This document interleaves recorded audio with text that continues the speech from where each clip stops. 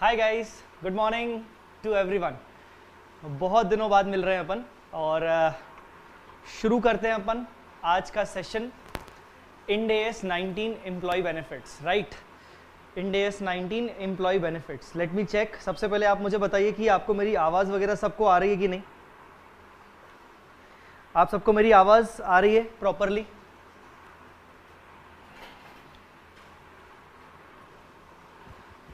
मुझे सबसे पहले बताइए कि आ, मेरी आवाज़ सबको प्रॉपरली आ रही है कि नहीं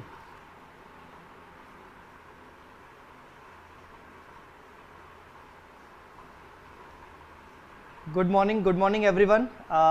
thank you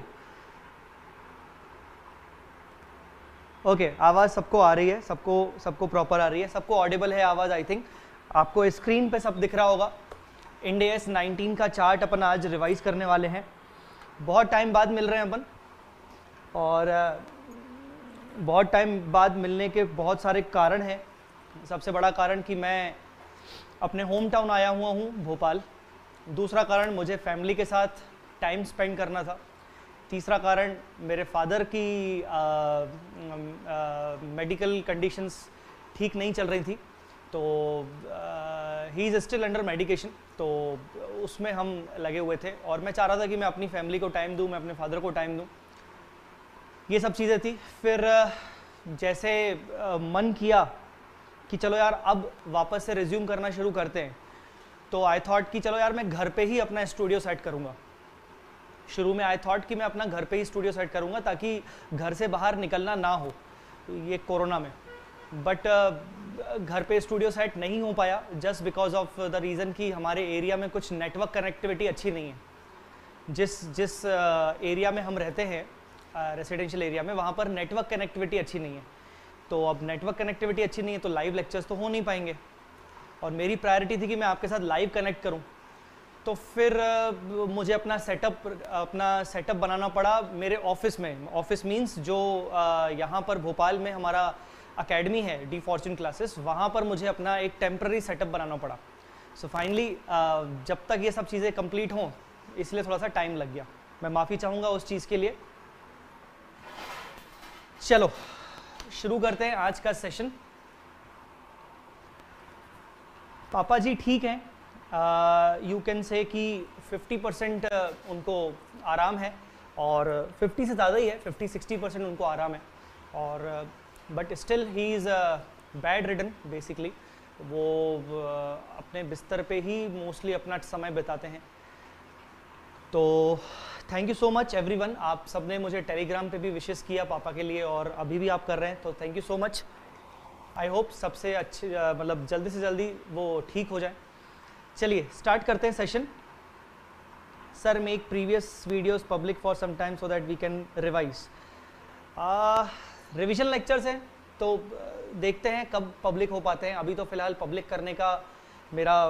मूड नहीं है क्योंकि मैं चाह रहा हूँ कि आप लाइव को ही कंटिन्यू करें राइट और उसके बाद ये टाइमिंग जो है वो साढ़े दस बजे का रखने का रीज़न ये है आज का हमने साढ़े दस बजे रखा है मैं भी देखता हूँ कि वो टाइम कितना सूट करता है मुझे भी क्योंकि मैंने आपको बताया कि मैंने अपने घर पे सेटअप नहीं किया है अगर टाइमिंग मतलब मैं मैं बिल्कुल उस फेवर में था कि मैं अपने घर पे सेटअप करूं और मैं सुबह आठ बजे का टाइमिंग रखूं ताकि ज़्यादा से ज़्यादा बच्चे हमारे साथ जुड़ें बट क्या है कि सेटअप मेरा ऑफिस में है और मेरा घर और मेरा ऑफिस का डिस्टेंस रहता है लगभग 17-18 किलोमीटर्स तो मुझे तैयार होके ऑफिस आना पड़ता है और यहाँ पर आके रिकॉर्डिंग करनी पड़ती है अपने ऑफिस में तो ऑब्वियसली uh, मतलब मेरे लिए पॉसिबल नहीं हो पाएगा कि मैं पहले स्टाफ को सुबह सुबह अर्ली मॉर्निंग बुलवाऊँ यहाँ पर भी रेस्ट्रिक्शंस हैं भोपाल में uh, तो इसीलिए क्या है कि टाइमिंग साढ़े दस से पहले हो नहीं सकता है मेरे साथ रेस्ट्रिक्शंस हैं इसीलिए टाइमिंग साढ़े दस से पहले हो नहीं सकता है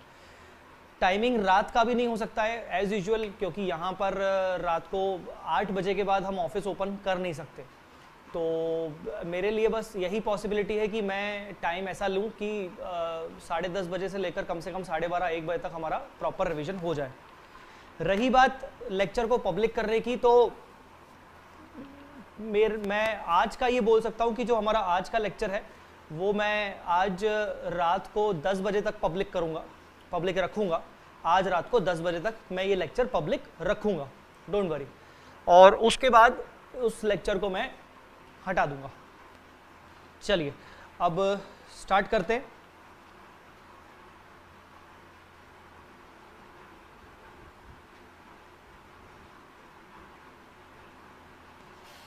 चलिए बच्चों शुरू करते हैं session Ind AS 19 employee benefits Ind AS 19 employee benefits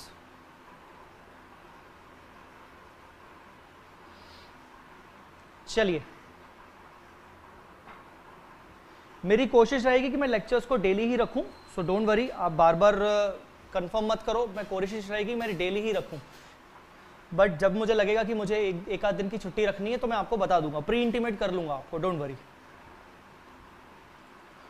अच्छा आपको वॉल्यूम अगर थोड़ा सा कम आ रहा है तो आप हेडफोन मतलब एयरफोन्स का यूज़ कर सकते हो एयरफोन्स या हेडफोन्स का यूज़ कर सकते हो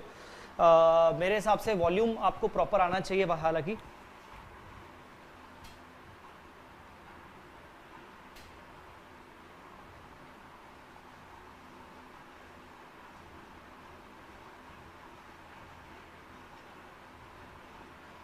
ठीक है बच्चों तो आप मुझे बता दीजिए अगर आपको वॉल्यूम अभी भी स्टिल कम आ रहा है तो मैं थोड़ा सा एक बार एडजस्टमेंट देख लूंगा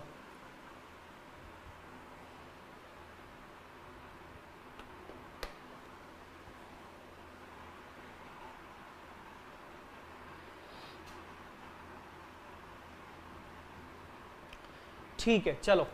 अब हम सबसे पहले चैट को कर देते हैं डिसेबल चैट को मैं कर देता हूँ डिसेबल एज यूजल जैसा हमारा क्लास का रूल है मैं चैट को डिसेबल कर रहा हूँ फॉर द टाइम बिंग और जैसा भी रहा मैं फिर बाद में बीच बीच में चैट को इनेबल करते रहूँगा आपके डाउट्स को लेने के लिए चलिए बच्चों स्टार्ट करते हैं आज का session Ind AS 19 employee benefits right Ind AS 19 employee benefits सबसे पहले मैं आपको बात बताना चाहता हूं स्पेसिफिकली लाइबिलिटी बेस्ड अच्छा हम असेट बेस्ड स्टैंडर्ड्स को ख़त्म कर चुके थे जब तक मैं पुणे में था आ, uh, आपको जो पिछले आपको आठ लेक्चर्स हमने करवाए हैं जो आठ लेक्चर्स का हमने क्विक रिवीजन करवाया है वो सारे के सारे असेट बेस्ड स्टैंडर्ड्स का करवाया है प्लस पहला स्टैंडर्ड हमने किया था इंडियस ट्वेल्व का अब हम आते हैं लाइबिलिटी बेस्ड स्टैंडर्ड्स पे तो लाइबिलिटी बेस्ड स्टैंडर्ड में हम बात कर रहे हैं इंडियस 19 इंप्लॉय बेनिफिट्स की राइट right? अब आप बोलोगे सर ये लाइबिलिटी बेस्ड स्टैंडर्ड कैसे हुआ देखा जाए तो लाइबिलिटी बेस्ड स्टैंडर्ड एक होता है Ind AS seven provision contingent liabilities and contingent assets वो एक जनरल लाइबिलिटीज के लिए होता है जनरल प्रोविजंस जनरल लाइबिलिटीज ऐसी लाइबिलिटीज ऐसे प्रोविजंस जो कहीं और कवर नहीं होते हैं किसी भी एक्सपेंस के लिए किसी भी एक्सपेंडिचर के लिए but employee related liabilities employer की लाइबिलिटी टूवर्ड्स इंप्लॉयज कि मुझे अपने एम्प्लॉय को कुछ बेनिफिट्स देने हैं इंप्लॉय रिलेटेड लाइबिलिटीज जो होती हैं वो कवर होती हैं इन डेज 19 में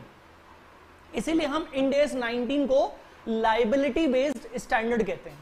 हालांकि इस लाइबिलिटी बेस्ड स्टैंडर्ड में असेट का भी कुछ काम आएगा यहां पर कुछ असेट का भी काम आएगा बट मेजर तौर पर हम यहां पर इंप्लॉय बेनिफिट लाइबिलिटीज की बात करते हैं इसीलिए हमारे पास लाइबिलिटी बेस्ड स्टैंडर्ड में दो स्टैंडर्ड होते हैं एक होता है इंडियस 37 जो जनरल पर्पज स्टैंडर्ड होता है और एक होता है इंडियस 19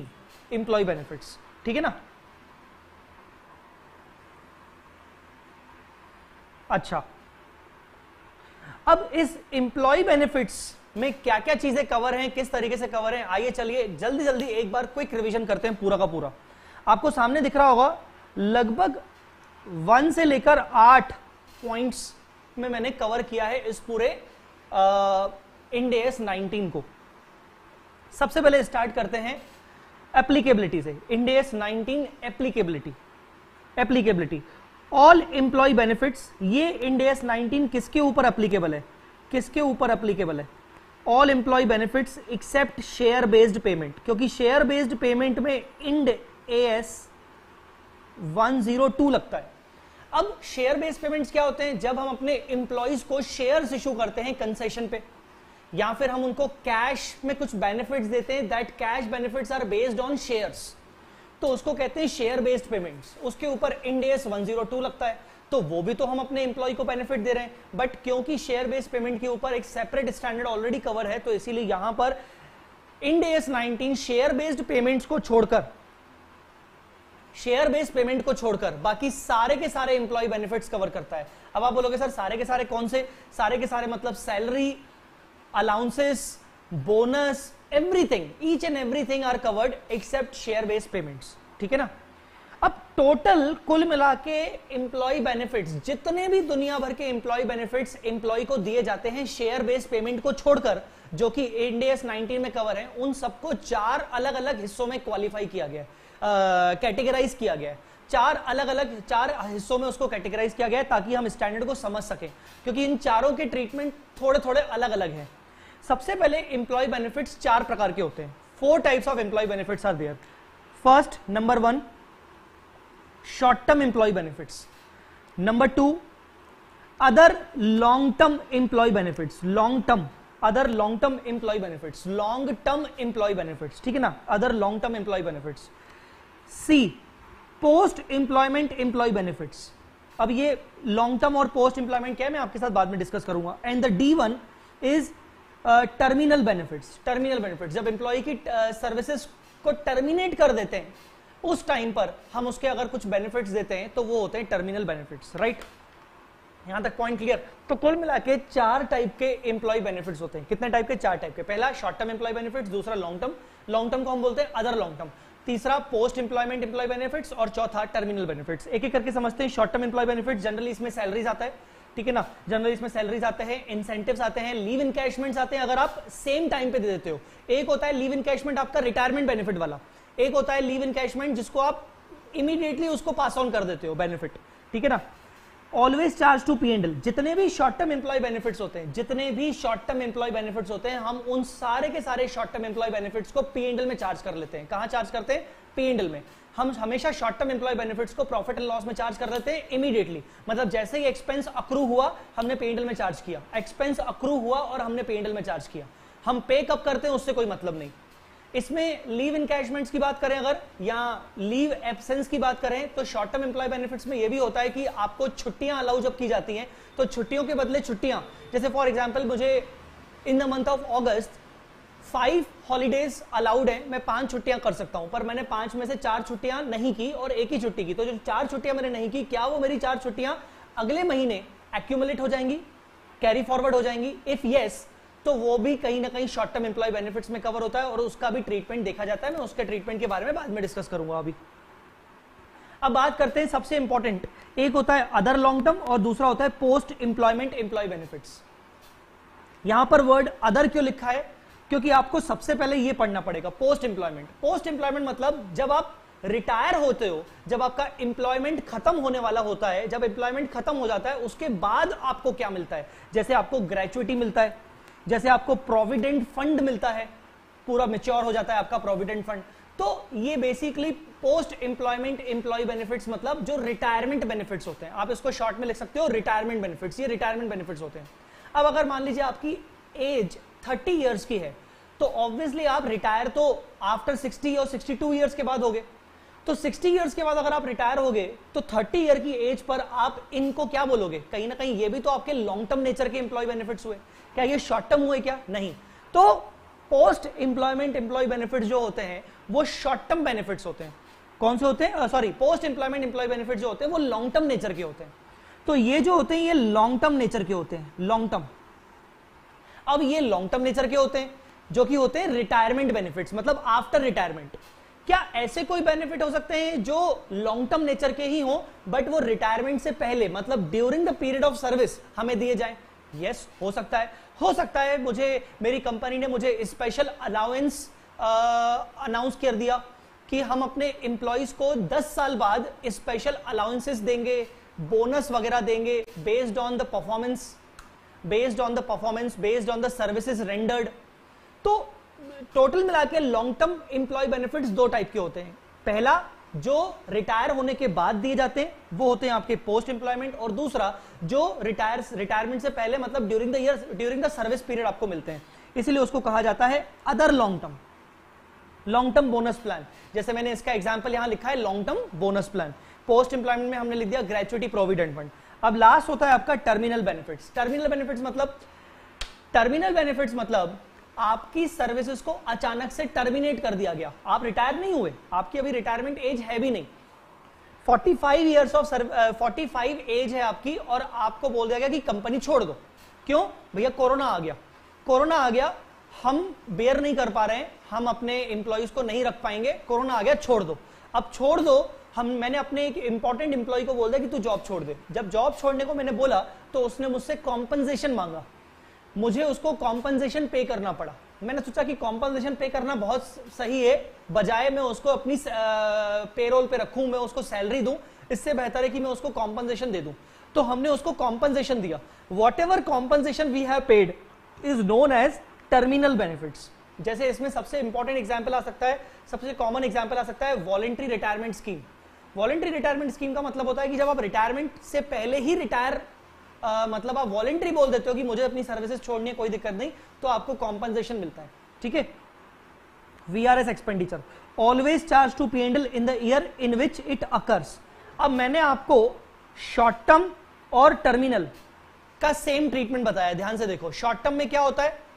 हमेशा शॉर्ट टर्म बेनिफिट्स एंडल में चले जाते हैं जैसे ही अक्रू हो जाता है एक्सपेंस उसके बाद जो टर्मिनल बेनिफिट्स होते हैं जिस टाइम पे आपके एम्प्लॉय ने सर्विस टर्मिनेट किया उसी टाइम पे आपको पेबल हो जाएगा आपका जो एक्सपेंस होगा जो आपको उसको कॉम्पनसेशन पे करना है आप पूरा का पूरा पेंडल में चार्ज करोगे आप कुछ भी डेफर एंड अमोटाइज नहीं करोगे दोनों के केस में सिंपल सा रूल है पेंडल इंपॉर्टेंट है ये दोनों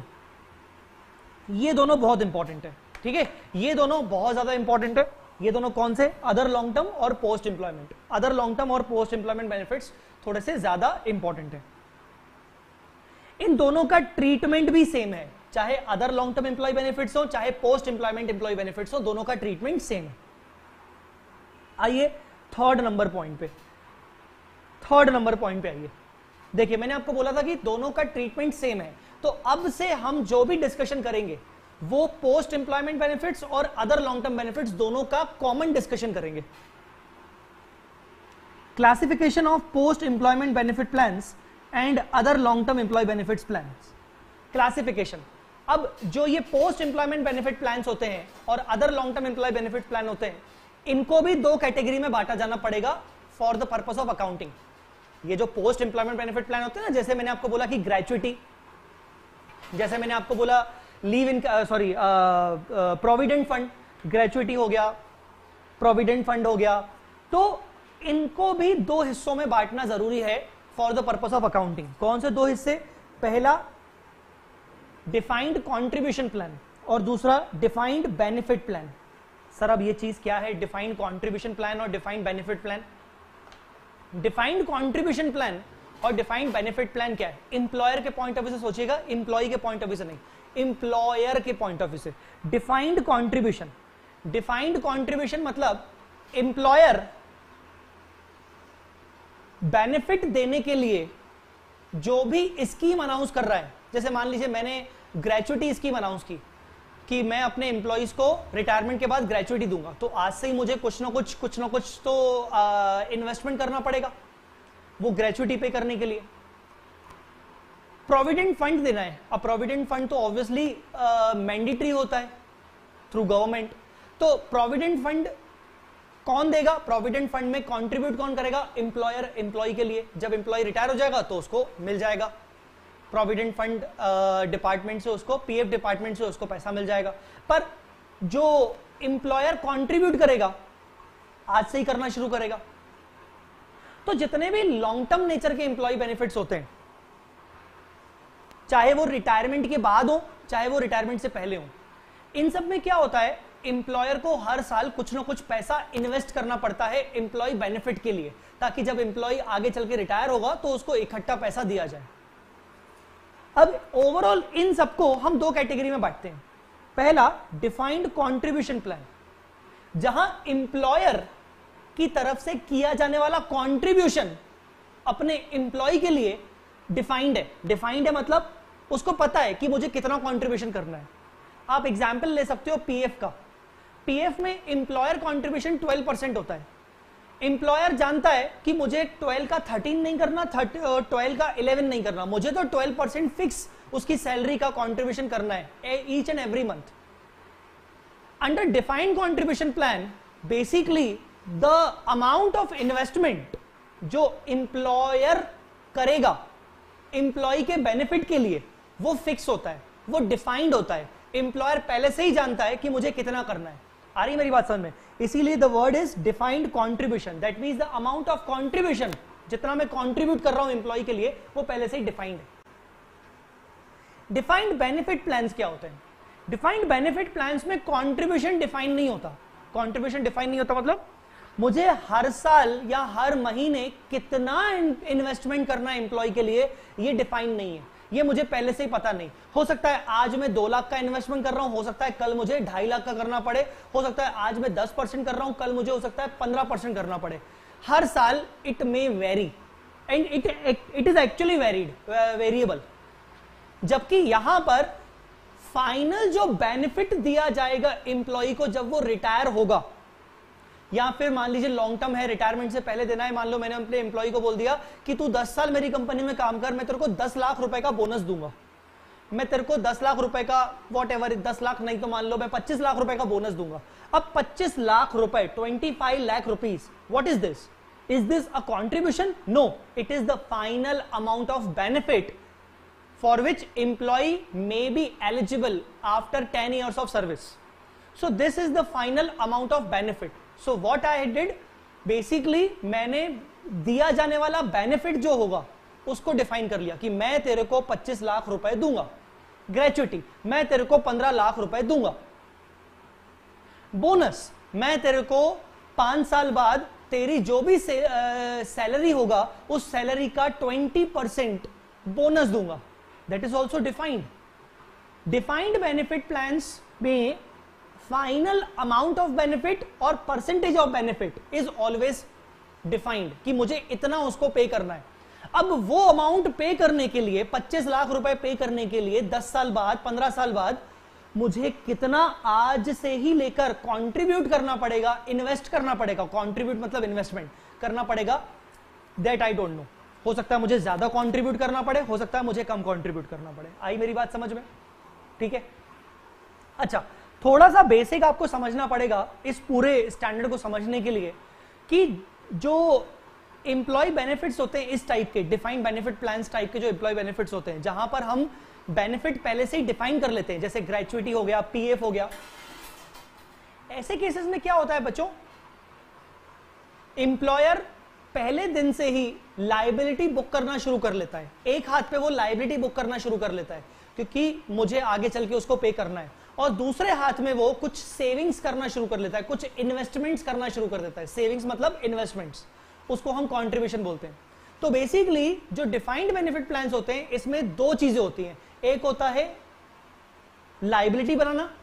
पहले दिन से ही हमें लाइबिलिटी बनाते हुए चलना है हमें प्रोविजन क्रिएट करते हुए चलना है कि आगे चल के हमें अपने एम्प्लॉय को पे करना पड़ेगा और पहले दिन से ही हमें कुछ ना कुछ पैसा इन्वेस्ट करना पड़ता है कि जैसे जैसे हम इन्वेस्ट करते जाएंगे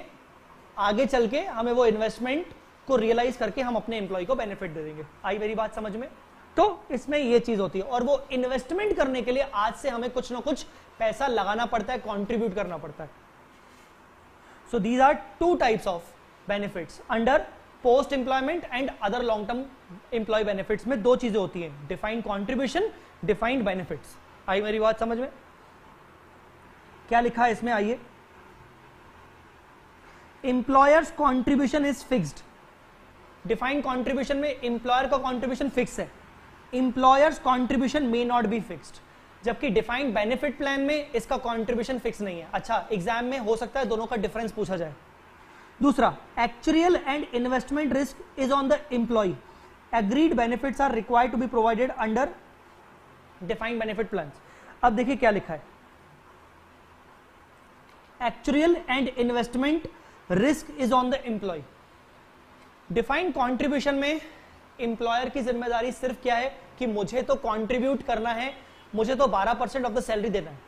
मुझे तो इतना पैसा कॉन्ट्रीब्यूट करना है बाद में जब एम्प्लॉय रिटायर होगा उसको पीएफ का पैसा कितना मिलता है वो मेरे को मतलब नहीं है क्योंकि मेरा कॉन्ट्रीब्यूशन डिफाइन है फाइनल बेनिफिट उसको कितना मिलेगा मेरे को कोई मतलब नहीं ठीक है ना तो बेसिकली रिस्क किसका होता है रिस्क होता है इंप्लॉय का कल को अगर मान लीजिए जो हमने कॉन्ट्रीब्यूट किया उसकी वैल्यू गिर गई इंप्लॉय का नुकसान उसकी वैल्यू बढ़ गई इंप्लॉय का फायदा आई बात समझ में कि नहीं तो जितने भी रिस्क होते हैं वो सब इंप्लॉय के होते हैं जबकि यहां पर क्या होता है यहां पर हमें एग्रीड बेनिफिट जितना हमने एज पर एग्रीमेंट बोला है कि हमें आपको बेनिफिट देना है उतना हमें देना पड़ता है actual and investment risk is on the employer और इस वाले केस में यहां पर इंप्लॉयर का बेनिफिट होता है इंप्लॉयर का रिस्क होता है कि कल को अगर जैसे मान लीजिए मैंने बोला है कि मुझे 25 लाख रुपए तेरे को देना है 10 साल बाद अब आज से ही मुझे इन्वेस्टमेंट करना पड़ेगा अब मान लीजिए मैंने सोचा यार मैं 10 साल तक अगर हर साल दो दो लाख भी इन्वेस्ट करूंगा तो आराम से इंटरेस्ट मिला के क्यूमुलेटिवली पच्चीस लाख हो जाएगा दो दो लाख भी अगर हर साल इन्वेस्ट करूंगा तो कुल मिला के बीस लाख का इन्वेस्टमेंट करूंगा तो लगभग लगभग मान लीजिए पच्चीस लाख रुपए हो जाएगा मैंने फर्स्ट ईयर टू लाख किया सेकंड ईयर टू लाख किया थर्ड ईयर में मेरे को समझ में आ गया यार बेटा ये तो दिक्कत हो रही है इन्वेस्टमेंट की वैल्यू ज्यादा बढ़ नहीं रही मुझे अपना कॉन्ट्रीब्यूशन बढ़ाना पड़ेगा दस साल बाद समझ में आ गया कि यार ये तो दिक्कत हो गई ये तो पच्चीस लाख हुए ही नहीं है तो बाईस लाख रुपए हुए मुझे तीन लाख रुपए अपनी जेब से और मिलाना पड़ेगा सो so बेसिकली रिस्क किसकी हुई रिस्क हुई इंप्लॉयर की क्योंकि वहां वो बेनिफिट को डिफाइन कर चुका है आई मेरी बात समझ में तो बेसिकली डिफाइन कॉन्ट्रीब्यूशन में जो रिस्क होती है वो इम्प्लॉय की होती है डिफाइंड बेनिफिट में रिस्क जो होती है वो इंप्लॉयर की होती है actual assumption are not required मैं आप बात करूंगा जब हम आगे बढ़ेंगे एक्चुअली एक्चुअली के अजम्पन्स डिफाइंड कॉन्ट्रीब्यूशन में रिक्वायर्ड नहीं होते आपने भी as a C A final student आपने आर्टिकलशिप किया होगा तो पी वगैरह की अकाउंटिंग आपने चेक की होगी देखी होगी तो उसमें आपने कभी भी एक्चुअल अकाउंटिंग आपने कभी नहीं देखा होगा उसमें कोई एक्चुअल के एजम्पन होते हैं ऐसा कुछ नहीं होता है तो डिफाइंड कॉन्ट्रीब्यूशन प्लान मतलब जो पीएफ वगैरह की जो अकाउंटिंग होती है वहां पर एक्चुअली के एजम्पन वगैरह नहीं लगते एक्चुअल एजम्पन आर रिक्वायर्ड ये जो इंपॉर्टेंट चीज है डिफाइंड बेनिफिट प्लान यहां पर आपको एक्चुअल एजम्पन लगते हैं इसीलिए आपको एक्चुअली को हायर करना पड़ता है आप मतलब एम्प्लॉयर को और एक्चुअली की रिपोर्ट लेनी पड़ती है और उसकी उसके रिपोर्ट के अकॉर्डिंग ही अकाउंटिंग होती है entire contribution expense is charge to P and L यहां पर डिफाइंड कॉन्ट्रीब्यूशन प्लान में पूरा का पूरा जितना मैं कॉन्ट्रीब्यूट कर रहा हूं जैसे PF contribution employers PF contribution employer share of PF contribution पूरा का पूरा जितना हमने कॉन्ट्रीब्यूट किया पूरा का पूरा पे एंडल में डालो क्योंकि वो हर साल डिफाइंड है जबकि expenses is recognised is based on projected unit credit method यहां पर ये वाली चीज इंपॉर्टेंट है यहां पर जितनी भी अकाउंटिंग होगी वो प्रोजेक्टेड यूनिट क्रेडिट मेथड के के हिसाब से अकाउंटिंग होगी प्रोजेक्टेड यूनिट क्रेडिट मेथड के अकॉर्डिंग अकाउंटिंग होगी ठीक है ये बात को ध्यान से रख देखिएगा एक बार प्लीज आप इसको पहले देख लीजिए फिर आगे बढ़ते हैं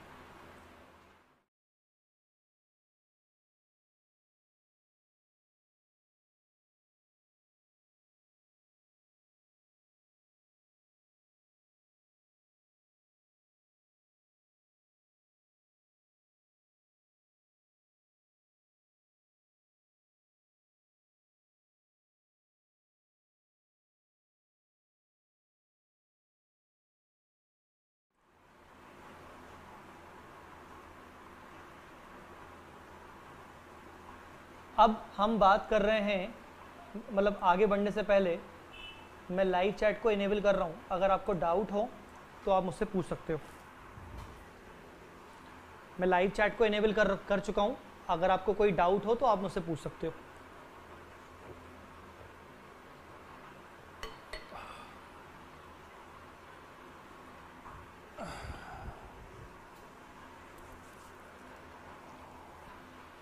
give me one minute please आप अपने डाउट पूछ सकते हो मुझे एक मिनट दीजिए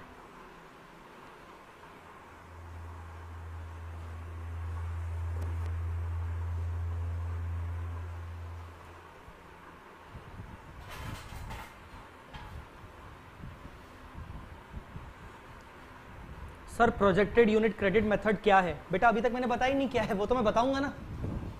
प्रोजेक्टेड यूनिट क्रेडिट मेथड क्या है वो ये है पॉइंट नंबर फोर और आगे के पॉइंट्स तो प्रोजेक्टेड यूनिट क्रेडिट मेथड क्या है वो आगे के पॉइंट्स हैं डोंट वरी अभी मैं वो चीज़ डिस्कस करूंगा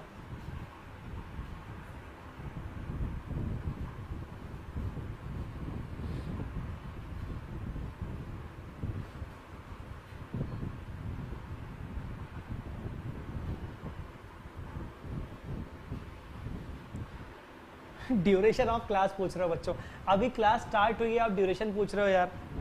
अप्रॉक्स दो घंटे लगते हैं आप ड्यूरेशन पर मत ध्यान दो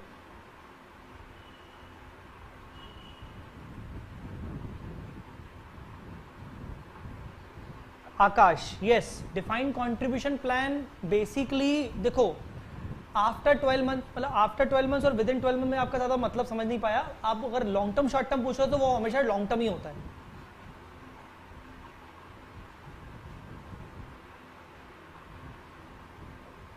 बेटा एक्चुअल एग्जाम्पन का पॉइंट मैं बाद में क्लियर करूंगा देवांश क्योंकि एक्चुअल एग्जाम्पन की रिक्वायरमेंट यहाँ पर डिफाइंड डिफाइंड बेनिफिट प्लान में वैसे भी लगेगी यहाँ पर तो मैं उसको अभी आऊंगा एक्चुअल एग्जाम्पन में what can be the different example of other long term basically these are customise कुछ भी हो सकता है मैंने आपको बोनस प्लान अनाउंस कर दिया मैं आपको कुछ अलाउंसेस दूंगा कुछ इंसेंटिव दूंगा इट कैन बी एनीथिंग जब पीएफ में कंट्रीब्यूट किया जाता है तो एम्प्लॉयर एंड एम्प्लॉय दोनों डिपॉजिट करवाते हैं तो क्या वो दोनों एटलीस्ट एम्प्लॉय को ही मिलता है क्या यस yes, वो दोनों एम्प्लॉय को ही मिलता है ना भाई एम्प्लॉय का जो कॉन्ट्रीब्यूशन होता है वो तो उसका सैलरी का पार्ट होता है पर जो एम्प्लॉयर का कॉन्ट्रीब्यूशन होता है हम उसकी बात कर रहे हैं एक्चुअली सर ग्रेचुटी की कैलकुलेशन में एक्चुअली का सर्टिफिकेट तो देते थे balance as on last date पर तो ग्रेचुटी की कैलकुलेशन में एक्चुअली इसका सर्टिफिकेट हाँ तो ग्रेचुटी की calculation is cover under employee benefit ना मैंने तो बोला ना कि एक्चुअली का रिपोर्ट लगता है सर्टिफिकेट लगता है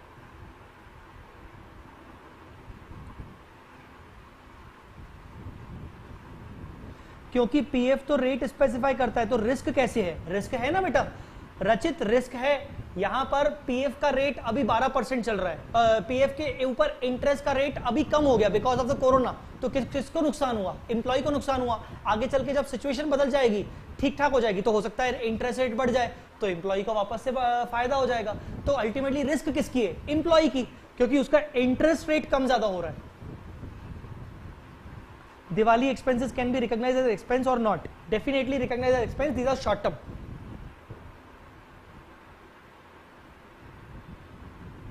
can PEV be short term in any case? If these are short term, then no need to apply projected unit credit method. पूरा का पूरा अगर वो पोस्ट एम्प्लॉयमेंट बेनिफिट पूरा का पूरा शॉर्ट टर्म हुआ तो आप पीएनडल में डालोगे बात को समझो शॉर्ट टर्म अगर कोई भी चीज है तो वो पीएनडल में जाएगी फिर उसकी बात आगे अपने को करने की जरूरत ही नहीं है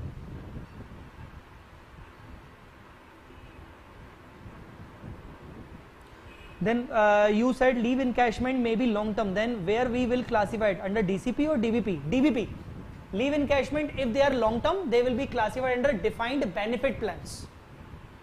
because उसमें लीव इन कैश में बेनिफिट डिफाइंड है कि एक छुट्टी का मैं तेरे को पांच सौ रुपए दूंगा तो तेरी जितनी भी छुट्टी तेरी एक्यूमुलेट हो जाएंगी इन टू पांच सौ तो वो डिफाइंड बेनिफिट है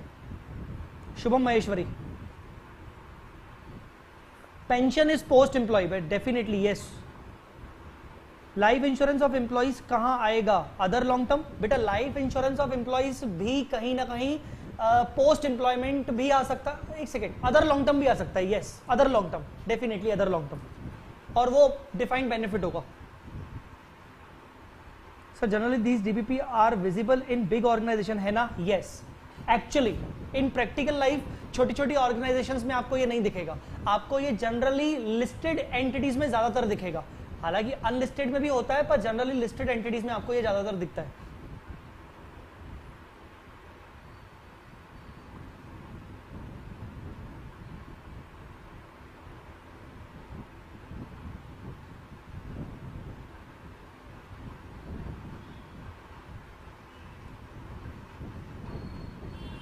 So basically, except DBP, everything is charged to P&L. Saurav Keshri, yes.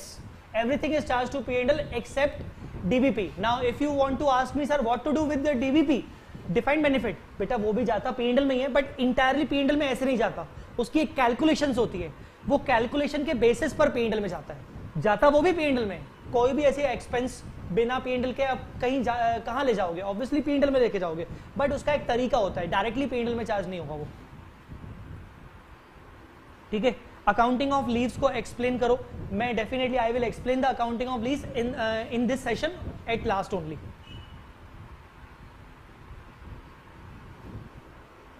Devansh yes सारे के सारे शॉर्ट टर्म कंसिडर करेंगे चलिए अब मैं डिसेबल कर रहा हूं लाइव चैट को आइए बेटा किसी ने मुझसे पूछा कि सर ये प्रोजेक्टेड यूनिट क्रेडिट मेथड क्या होता है मैंने बता, तो बताया ही नहीं किसी ने बोला सर ये एक्चुअल असम्पशंस बता दीजिए फिर से एक बार मैंने बोला वो तो मैं अभी बताऊंगा ना आगे क्या होगा ये दोनों चीजें हम पढ़ने वाले हैं कहीं ना कहीं अकाउंटिंग फॉर डीबीपी डीबीपी मतलब डिफाइंड बेनिफिट प्लान और ये अकाउंटिंग किसके बेसिस पर है ये अकाउंटिंग है projected unit credit method unit credit method हम ये प्रोजेक्टेड यूनिट क्रेडिट मेथड ही पढ़ रहे हैं ठीक है हम ये प्रोजेक्टेड यूनिट क्रेडिट मेथड ही पढ़ रहे हैं अकाउंटिंग फॉर डीबीपी पढ़ रहे हैं प्रोजेक्टेड यूनिट क्रेडिट मेथड मैंने आपको बताया था थोड़ी देर पहले कि डीबीपी में डीबीपी में डिफाइंड बेनिफिट प्लान में दो चीज़ें होती हैं एक तो हमें जो एम्प्लॉय को बेनिफिट देना है आज से 10 साल बाद 20 साल बाद 30 साल बाद उसकी लाइबिलिटी बनाना प्रोविजन बनाना थोड़ा थोड़ा थोड़ा थोड़ा थोड़ा थोड़ा थोड़ा थोड़ा थोड़ा आज से ही शुरू करना पड़ेगा और दूसरा क्योंकि हमें आगे चल के पे करना है ये हम जानते हैं तो आज से ही हमें कुछ इन्वेस्टमेंट्स भी करना पड़ेगा आज ही से लेकर हमें कुछ इन्वेस्टमेंट्स करने पड़ेंगे अब जब हम इन्वेस्टमेंट करते हैं तो उसके दो तरीके होते हैं इन्वेस्टमेंट करने के दो तरीके होते हैं ठीक है ना कौन से दो तरीके होते हैं या तो या तो मैं एक थर्ड पार्टी को हायर करूं मेरा इन्वेस्टमेंट पूरा वो प्लान कर लेगी जैसे L life insurance corporation of India life insurance corporation of India भी मुझे सर्विसेज प्रोवाइड करती है इन्वेस्टमेंट की कि मैं अगर अपने इंप्लॉयज को कुछ बेनिफिट देना चाहता हूं आगे चल के ग्रेचुटी वगैरह के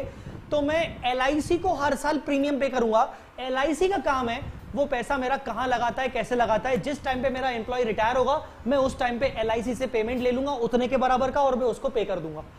बाकी इंप्लॉयज के लिए मैं प्रीमियम पे करता रहूंगा मतलब मैंने क्या किया मैंने यहां पर किसी एल जैसे किसी थर्ड पार्टी को हायर कर लिया कुछ कुछ कंपनीज जो बहुत बड़ी कंपनीज होती है जैसे Tata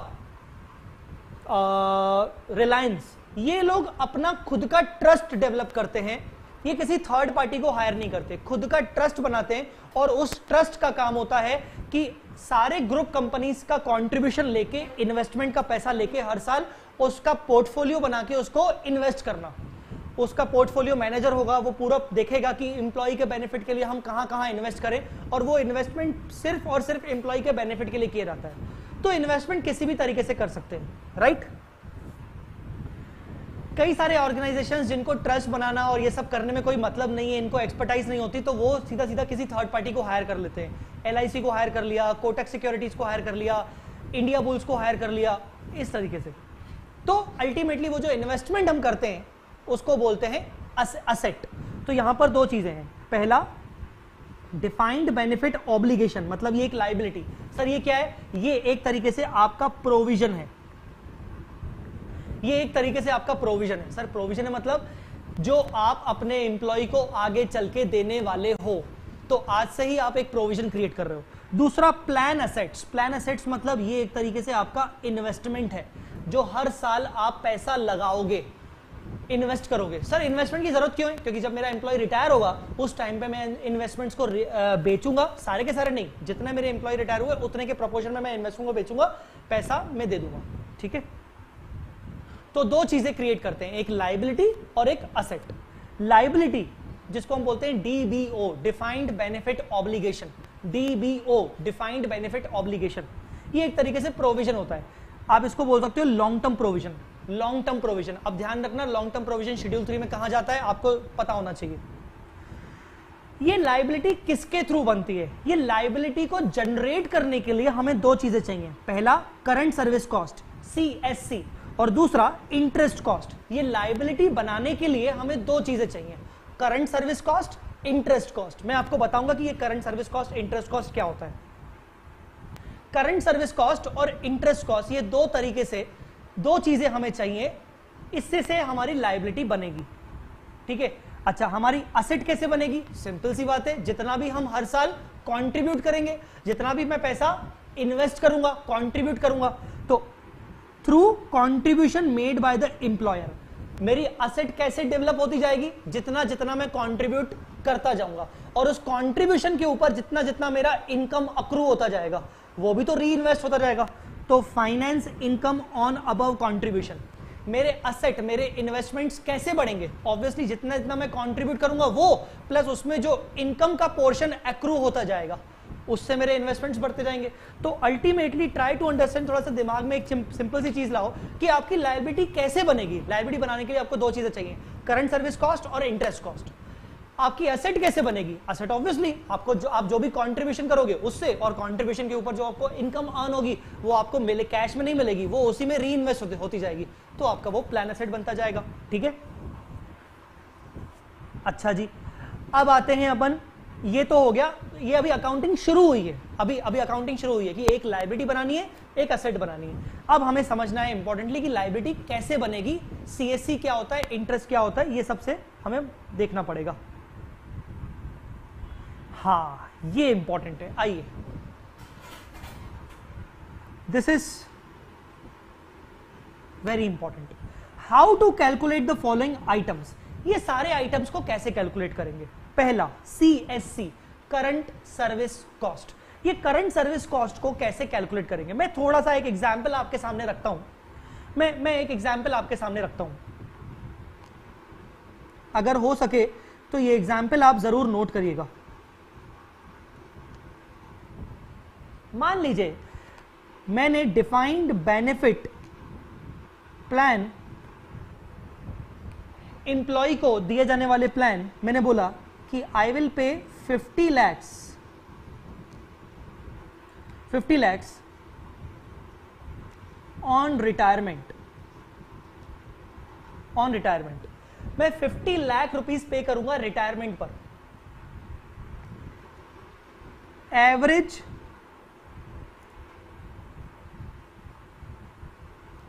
period remaining till retirement retirement में कितना समय बचा है मान लीजिए दस साल टेन ईयर्स रिटायरमेंट में कितना टाइम बचा है टेन ईयर्स तो मैं क्या करूंगा one two three four five six और ऐसे ऐसे टेन मैं क्या करूंगा मैं इस फिफ्टी लैख को टेन से डिवाइड कर लूंगा फिफ्टी लैख को टेन से डिफाइन कर लूंगा मतलब मैं एनुअल बेनिफिट निकाल रहा हूं विदाउट डिस्काउंटिंग तो मैं बोलूंगा five lakh five lakh five lakh हर साल के फाइव लैख होंगे टेन टेन ईयर्स तक ठीक है ना हर साल के फाइव लैख होंगे टेन ईयर्स तक ये हो गया एनुअल बेनिफिट ये हो गया एनुअल बेनिफिट अब होगा क्या ये जितनी भी बेटा वर्किंग हम कर रहे हैं ना ये वर्किंग कौन करता है क्या ये वर्किंग सीए करता है कंपनी का नो no. क्या ये वर्किंग कंपनी खुद करती है नो no. ये वर्किंग कौन करेगा ये वर्किंग करेगा एक्चुअली ये एक्चुअली का काम है जो आपसे इनपुट लेगा आपसे मतलब इंप्लॉयर से कि बताइए आपके टोटल इंप्लॉयज कितने हैं जिनके लिए आपने बेनिफिट प्लान किया है आपने क्या बेनिफिट दिया है उनको कितना दोगे आपके एम्प्लॉयज की एज बताइए सारे आप अपने एम्प्लॉयज की सैलरी बताइए अगर benefit is based on the salary ये सारे आपसे इनपुट लेगा इनपुट लेने के बाद वो इन्फ्लेशन रेट कंसीडर करेगा that inflation rate definitely called as discounting rate वो एक डिस्काउंटिंग रेट अज्यूम करेगा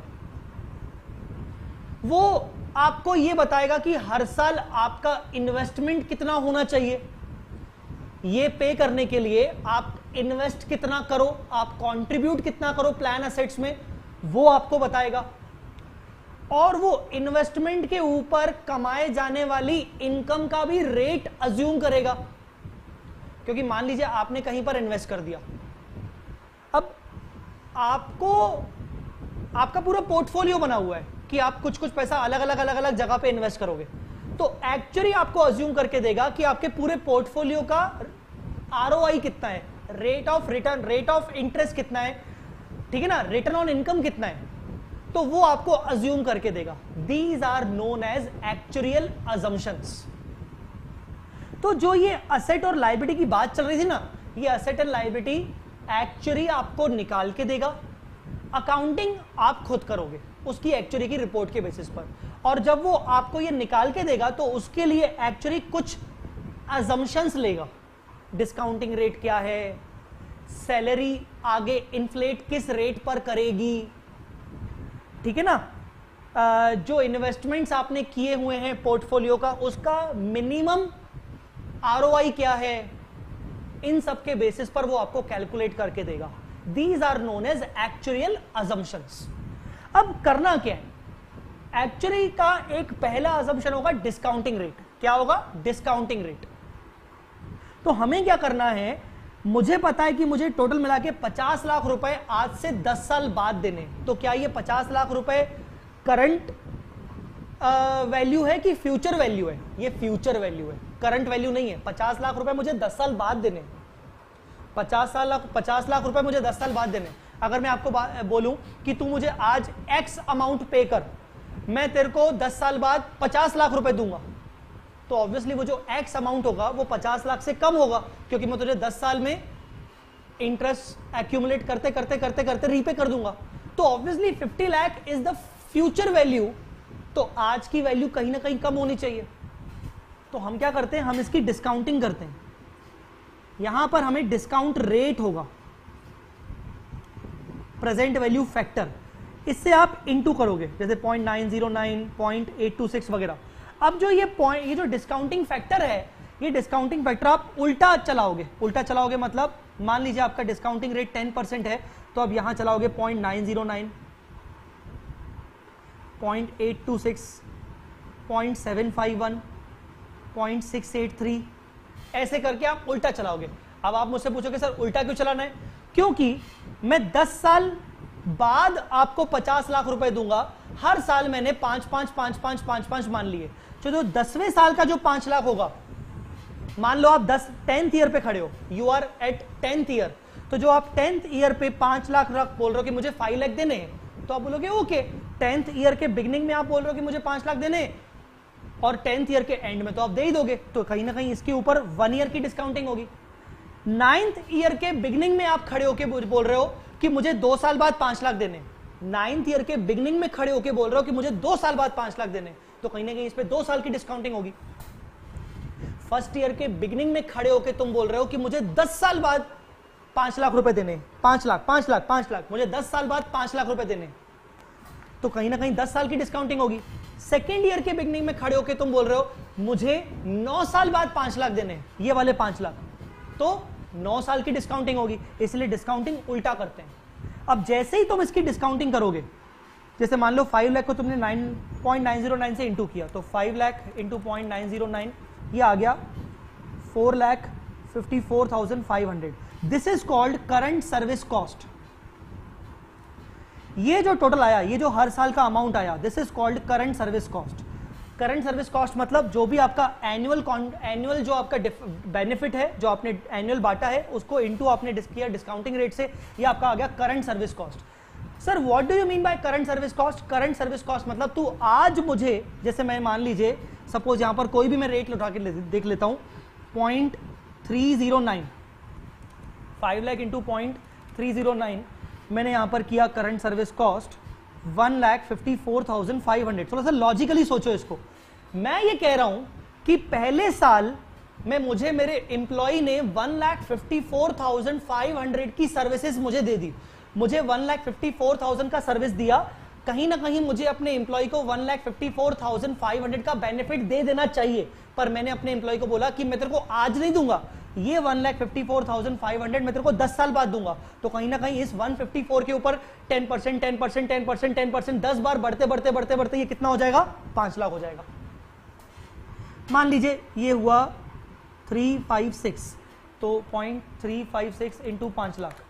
अगला साल ये आया one lakh seventy eight thousand second year में one lakh seventy eight thousand क्या बोल रहा हूं ये बोल रहा हूं कि ये करंट सर्विस कॉस्ट है मतलब करंटली सेकेंड ईयर में मुझे मेरे एम्प्लॉय ने one lakh seventy eight thousand का बेनिफिट दिया है कायदे से मुझे one lakh seventy eight thousand आज सेकेंड ईयर में उसको पे कर देना चाहिए पर मैं उसको 178 आज पे नहीं करूंगा मैं उसको नाइन नाइन ईयर्स बाद पे करूंगा जब मैं बाद में पे करूंगा तो वो क्या वैल्यू हो जाएगी वो पांच लाख रुपए हो जाएगी बढ़ते बढ़ते बढ़ते बढ़ते बढ़ते तो this is called current service cost technically मैं कर क्या रहा हूं मैं बोल रहा हूं कि कुल मिला के मुझे पचास लाख रुपए दे रहे हैं अपने एम्प्लॉय को दस साल बाद तो क्या ये पचास लाख का खर्चा पूरा का पूरा टेंथ ईयर का है द आंसर इज नो पचास लाख का खर्चा पूरा का पूरा फर्स्ट ईयर का है the answer is no basically 50 lakh का खर्चा जो है वो पूरे 10 साल का थोड़ा थोड़ा अपोर्शन है this 50 lakh benefit is to be apportion in the number of years in the terms of in the in the period of service जितनी भी मैंने पीरियड ऑफ सर्विस यहां पर मानी है चार साल दस साल पंद्रह साल मुझे ओवरऑल इसमें डिवाइड करना है और जो ये पचास लाख है ध्यान ध्यान से सोचिएगा पचास लाख जो है it is the fair it is the future value अगर ये फ्यूचर वैल्यू है तो इस पचास लाख में कहीं ना कहीं प्रिंसिपल प्लस इंटरेस्ट दोनों शामिल होगा लॉजिकली सीए फाइनल के स्टूडेंट हो मेच्योरिटी लेवल थोड़ा होना चाहिए पचास लाख रुपए अगर फ्यूचर वैल्यू है तो उसमें इंटरेस्ट भी शामिल होगा तो technically what we are doing कि सिंस 50 लाख में प्रिंसिपल और इंटरेस्ट दोनों शामिल है तो जो प्रिंसिपल का पोर्शन है वो मुझे अलग दिखाना है और इंटरेस्ट का पोर्शन अलग दिखाना है जो प्रिंसिपल का पोर्शन है उसी को हम बोलते हैं करंट सर्विस कॉस्ट अब वो प्रिंसिपल का पोर्शन हर साल कितना कितना है उसकी मैंने डिस्काउंटिंग कर ली तो ये मुझे प्रिंसिपल का पोर्शन मिल गया आई मेरी बात समझ में कि नहीं जब तुम सारे के सारे करंट सर्विस कॉस्ट का सम करोगे ना टोटल तो वो 50 लाख नहीं होगा वो 35 लाख 40 लाख समथिंग कुछ होगा बाकी जो रिमेनिंग डिफरेंस आ रहा है वो हर साल का इंटरेस्ट अपोर्शन करेंगे आई होप आपको ये पॉइंट थोड़ा सा क्लियर हुआ हो बट कहीं ना कहीं हमें लिमिटेशंस रखनी पड़ेंगी ये एक रिविजन सेशन है यहाँ पर मैं आपको पूरा का पूरा सॉल्व करके नहीं बता सकता आपको एक अप्रोच बता दिया कि किस तरीके से हमने इसको सॉल्व करना पड़ेगा ठीक है तो now what we are doing देखिए ध्यान से क्या लिखा है current service cost discounted value of estimated annual benefits annual पांच लाख रुपए फिफ्टी लाख को आपने डिवाइड किया नंबर ऑफ ईयर्स में तो वो एनुअल बेनिफिट्स हो गए एनुअल बेनिफिट्स का आपने डिस्काउंटिंग किया वो हो गया आपका current service cost you can say annual benefit into present value factor ये हो गया आपका current service cost basically this is nothing this is a principal value IC interest cost अब प्रिंसिपल के ऊपर तो इंटरेस्ट भी तो लगेगा जैसे फर्स्ट ईयर में मैंने आपको बोला कि technically I should pay one lakh fifty four thousand five hundred immediately to you in the first year but I am not paying you now I will pay you after ten years अब तुम बोलोगे sir अगर आप मुझे 10 साल बाद दोगे ये तो मुझे इस पे 10 साल का इंटरेस्ट भी चाहिए तो बेसिकली इसके ऊपर निकलता जाएगा 10-10 साल का इंटरेस्ट इस पे 9 ईयर का इंटरेस्ट 8 ईयर्स का इंटरेस्ट 7 ईयर्स का इंटरेस्ट 6 ईयर का इंटरेस्ट सो टेक्निकली हर साल क्या आ जाएगा आपका interest cost calculated on defined benefit liability using same discounting rate of CSC आप डिस्काउंटिंग रेट वही यूज करोगे 10 परसेंट जो आपने सीएससी में यूज किया था उसी के बेसिस पर आप हर साल का इंटरेस्ट निकालोगे आई बात समझ में क्लियर हुआ एंट्री क्या होती है जर्नल एंट्री क्या होती है बेसिकली क्या होगा सुनिए फर्स्ट ईयर में मैं एंट्री करूंगा current service cost account debit to D B O liability याद करो मैंने बोला था कि एक लाइबिलिटी बनती है एक एसेट बनती है मैंने इसकी एंट्री कर दी one fifty four five hundred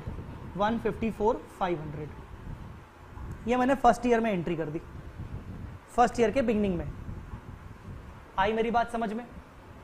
अब इंटरेस्ट किस पे निकलेगा इंटरेस्ट निकलेगा जितना भी लाइबिलिटी का पोर्शन होगा उस पर हर साल के एंड में जो भी आपकी डीबीओ लाइबिलिटी होगी उसके ऊपर इंटरेस्ट निकलेगा देखो वही लिखा हुआ है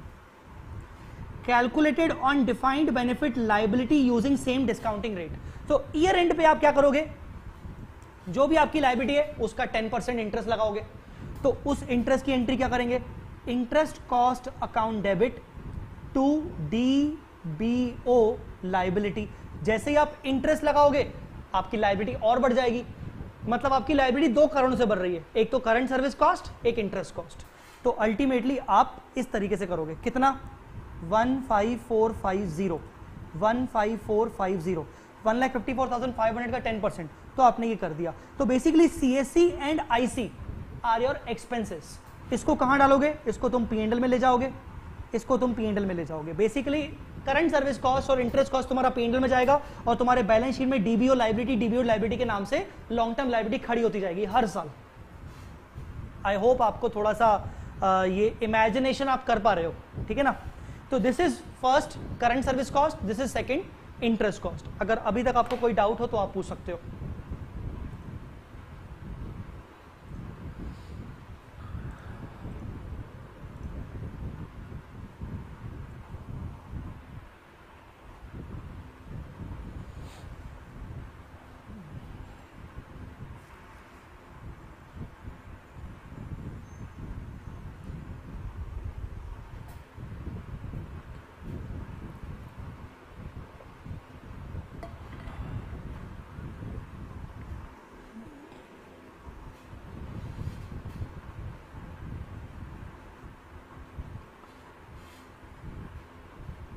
आपको अगर कोई डाउट हो तो आप पूछ सकते हो बेटा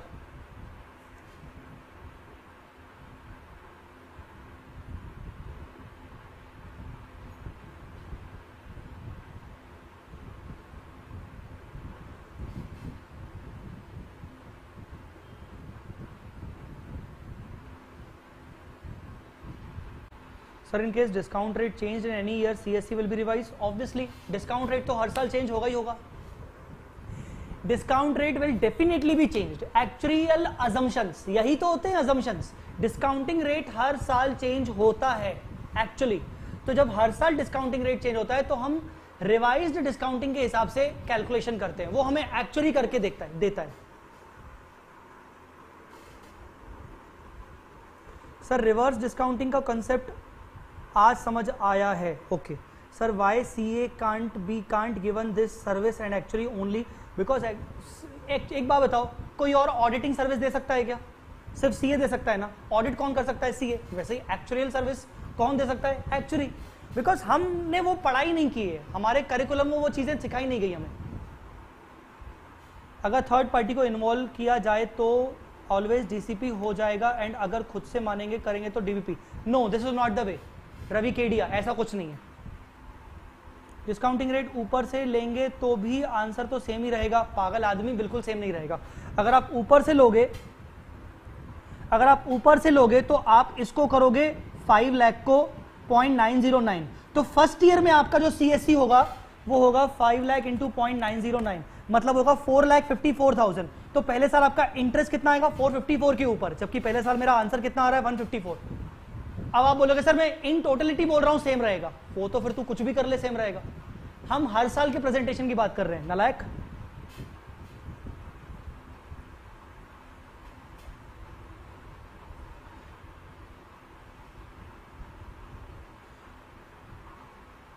टेंथ ईयर के एंड में डिस्काउंटिंग फैक्टर वन लेंगे या point nine zero nine that depends कि टेंथ ईयर का बिगिनिंग में मुझे रीपे करना है कि टेंथ ईयर के एंड में रीपे करना है अगर एंड में है तो इंटू वन करेंगे अगर टेंथ का बिगनिंग है तो into point nine zero nine करेंगे दैट डिपेंड्स अब वो आप आईपीसीसी में सीख चुके हो आई होप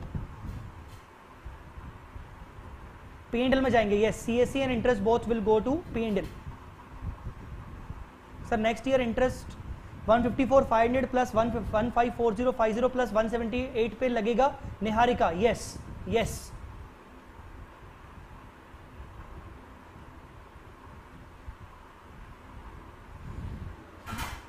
ऐसा होगा यू कैन से कुछ ऐसा बनाएंगे first year second year third year fourth year fifth year मैं आपको दो साल का करके बता रहा हूँ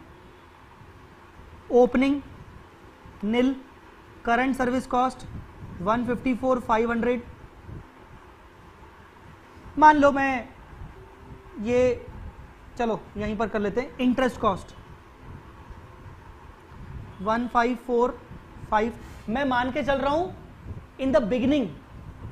amount is payable at the beginning of the year अगर मैं इसको एट द एंड बोलूं तो इंटरेस्ट अभी लगेगा ही नहीं इंटरेस्ट अगले साल लगेगा क्योंकि एट द एंड अगर पेबल हो गए तो एक साल बाद इंटरेस्ट लगेगा I hope you can understand मैं बिगिनिंग में मान के चल रहा हूं तो आपका डिफाइंड बेनिफिट ऑब्लिगेशन कितनी हो गई ये हो गई 154 500 प्लस 154 फाइव ज़ीरो ये हो गया one six nine nine five zero अगले साल one six nine nine five zero फिर वन सेवेंटी एट तो ये टोटल इस पर लगेगा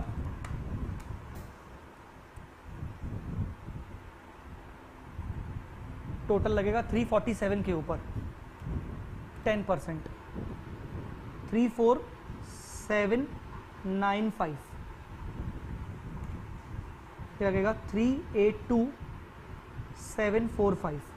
second year की हम अकाउंटिंग कैसे करेंगे current service cost account debit 178 interest account debit 34795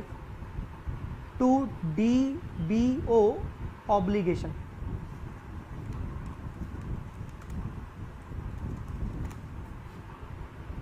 to one two seven nine five ये आपका इस तरीके से रहेगा आपको समझ में आ रहा है ठीक है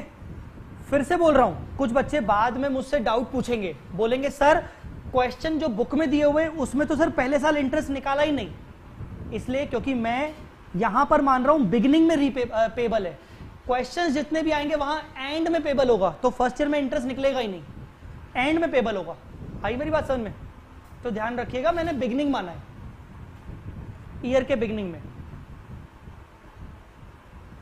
आई होप आपको क्लियर हो गया होगा तो ये डिफाइंड बेनिफिट ऑब्लिगेशन आपके सेकेंड ईयर में बन गई फर्स्ट ईयर में आपने 169 बनाई थी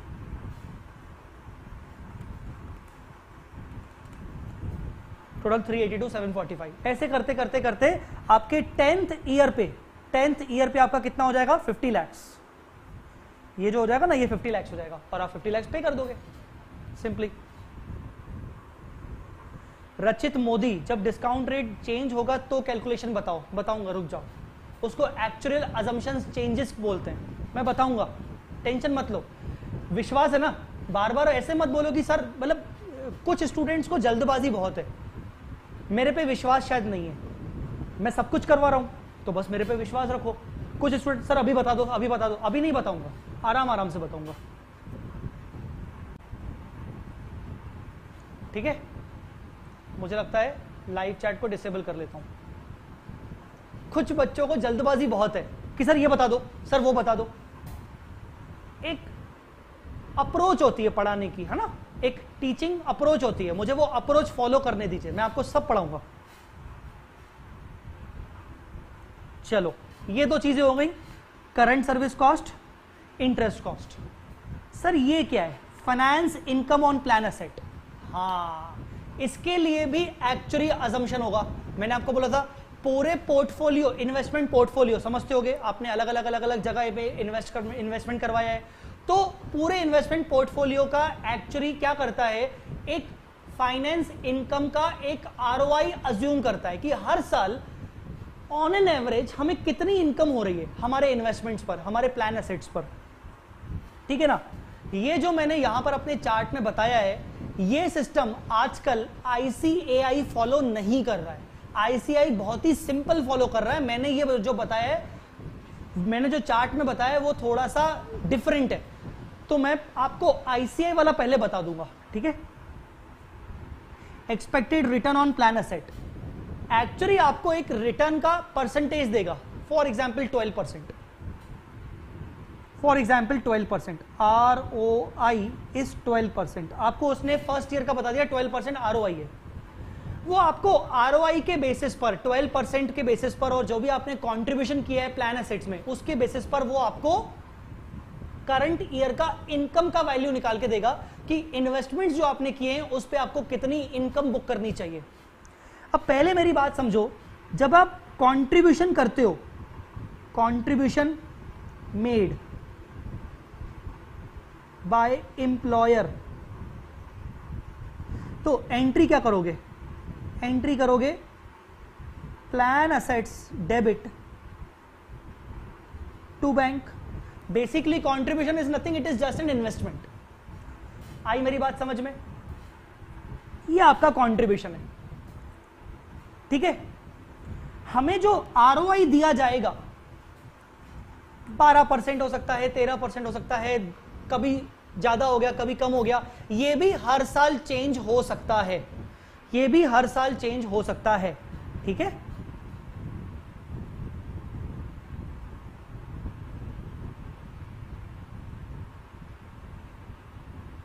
ठीक है अच्छा now what to do ICAI हमेशा अज्यूम करके चलता है आईसीआई हमेशा अज्यूम करके चलता है जो भी कंट्रीब्यूशन हम करेंगे वो हम always in the beginning of year करेंगे always in the beginning of year करेंगे जो भी हम कंट्रीब्यूशन करेंगे ये हमारा अजम्पन रहता है अजम्पन बाय आई सी ए आई हमेशा हमारा अजम्पन रहेगा कि हम जब भी कंट्रीब्यूशन करेंगे बिगनिंग में करेंगे ईयर के बिगनिंग में ऐसा मैं क्यों बोल रहा हूं क्योंकि अगर मैं ईयर के बिगनिंग में कंट्रीब्यूशन कर रहा हूं तो जो मेरा आर ओ परसेंट है वो पूरा का पूरा बारह महीने के लिए अप्लाई होगा पर अगर मान लीजिए मेरा कॉन्ट्रीब्यूशन जुलाई में हो रहा है तो आर को मैं नौ महीने के लिए अप्लाई करूंगा सितंबर में हो रहा है तो छह सात महीने के लिए करूंगा दिसंबर में हो रहा है तो चार महीने के लिए करूंगा दैट डिपेंड्स हमेशा आईसीआई मान के चलता है कि हम कंट्रीब्यूशन हमेशा ईयर के बिगनिंग में करेंगे ताकि पूरा का पूरा साल भर का आर अप्लाई कर सकें ठीक है मान लीजिए मान लीजिए हमने जो ये स्कीम बनाई थी अपने 100 इंप्लॉयज के लिए स्कीम बनाई थी कुछ इंप्लॉयज की एज 30 इयर्स है कुछ इंप्लॉयज की एज 40 इयर्स है कुछ एम्प्लॉयज की एज 50 इयर्स है कुछ इंप्लॉयज की एज 55 इयर्स है और हमने बोला था कि सिक्सटी ईयर के बाद हम आपको रिटायरमेंट बेनिफिट दे देंगे अब मान लीजिए पांच साल बाद एक इंप्लॉय रिटायर हो गया क्योंकि उसकी एज 55 फाइव ईयर्स थी पांच साल पहले जब हमने ये इंप्लॉय स्कीम अनाउंस की थी पांच साल बाद वो रिटायर हो गया अब जब पांच साल बाद वो रिटायर हो गया तो हमें उसको पे करना पड़ेगा ना तो पे करने के लिए मुझे किसको बेचना पड़ेगा अपने प्लान असेट को क्या मैं अपने सारे के सारे प्लान असेट बेचूंगा नहीं मैंने जो पूरे के पूरे प्लान असेट बनाए हैं वो तो हंड्रेड इंप्लॉयज के हिसाब से बनाए हैं हो सकता है और ज्यादा इंप्लॉयज बीच में नए नए आए हो तो उनके लिए बनाया हो पर जा कौन रहा है सिर्फ एक एम्प्लॉय तो मुझे थोड़ा सा टुकड़ा इस प्लान असेट का थोड़ा सा हिस्सा मुझे बेचना है क्योंकि मुझे अपने एम्प्लॉय को बेनिफिट पे करना है तो when we pay benefit to the employee plan asset should be sold proportionately हम प्लान एसेट को बेचेंगे एंट्री क्या करेंगे एंट्री करेंगे bank account debit to plan asset ये एंट्री करेंगे आई मेरी बात समझ में अब इसमें दो बातें समझना है आपको पहला आईसीआई यहां भी मान के चलता है कि जब भी हम प्लान असेट बेचेंगे वो ईयर के बिगनिंग में ही बेचेंगे ईयर के बिगनिंग में assuming sold in the beginning of year assuming sold in the beginning of year year के बिगनिंग में ही बेचेंगे इसका मतलब अगर मैं प्लान असेट में इन्वेस्टमेंट कर रहा हूं तो बिगनिंग में कर रहा हूं अगर मैं प्लान असेट को बेच रहा हूं तो बिगनिंग में बेच रहा हूं आई बात समझ में ताकि मैं पूरे साल भर का आर अप्लाई कर सकूं 12 परसेंट पूरे 12 महीने का झंझट ना हो कि 6 महीने 8 महीने पर रियल लाइफ में ऐसा नहीं होता रियल लाइफ में इन्वेस्टमेंट हो सकता है मैं हर महीने महीने कर रहा हूं और मैं प्लान असेट हो सकता है मैंने पूरे साल भर में तीन चार बार अलग अलग डेट पर बेचा तो उसके लिए एक्चुअली एक एक्सेल शीट के अकॉर्डिंग ही एक्सेल शीट में आप वर्किंग कर पाओगे आप ऐसे कैलकुलेटर पर वर्किंग नहीं कर पाओगे इसीलिए ये काम एक्चुअली का होता है इसके लिए सेपरेट एक्सपर्ट्स होना जरूरी है ये हम नहीं कर सकते इतना आसानी से जब तक हम सीख नहीं जाते समझ गए इसीलिए हम एक अजम्पशन लेते हैं आईसीआई भी जानता है कि हम बच्चों से हो नहीं पाएगा अगर अलग अलग डेट्स दे दी गई तो तो इसलिए आई से हमें बिगनिंग का असम्पशन दे देता है दूसरा आपके मन में आया होगा कि जब हमने सर प्लान एसेट बेचा होगा तो सर हमें कुछ प्रॉफिट और लॉस भी तो हुआ होगा वो क्यों नहीं दिखाया आपने यस yes. जो प्रॉफिट लॉस होता है आप उसको बोल सकते हो कैपिटल गेन कैपिटल लॉस और जो प्लान असेट के ऊपर आपको हर साल इनकम होती है इंटरेस्ट इनकम वो आपकी इंटरेस्ट इनकम होती है एक्चुअली क्या है जो ये आर एक्चुअली ने अज्यूम किया ना 12 परसेंट का this 12 percent is a combination of interest income मतलब regular income as well as capital gain अगर आगे चल के बेचा जाएगा तो this means this 12 percent is not only the regular income it also includes the capital gain also so technically हम यहां पर कोई प्रॉफिट लॉस अलग से बुक नहीं करेंगे क्योंकि हमारे 12 परसेंट में ऑलरेडी वो कैपिटल गेन शामिल है तो हम जब 12 परसेंट का कैलकुलेशन करके उसकी एंट्री दिखाएंगे इनकम की तो उसमें ऑलरेडी प्रॉफिट लॉस अपने आप आ जाएगा इसीलिए हम यहां पर प्रॉफिट एंड लॉस बुक नहीं कर रहे ठीक है अच्छा अब क्या लिखा है if contribution is made and benefit are paid at beginning of the year और end of the year then take annual rate अगर आप कॉन्ट्रीब्यूशन पे कर रहे हो हर साल और बेनिफिट्स जब आप निकाल रहे हो प्लान एसेट में से हर साल एनुअली कर रहे हो ठीक है ना एट द बिगिनिंग कर रहे हो या फिर एंड में कर रहे हो तो जो रेट है आर वो आपको एनुअल रेट लेना है आईसीआई इसी को फॉलो करता है आईसीआई इसको फॉलो नहीं करता है आईसीआई इसको फॉलो नहीं करता है इसको आईसीआई ओल्ड सिलेबस में फॉलो करता था कि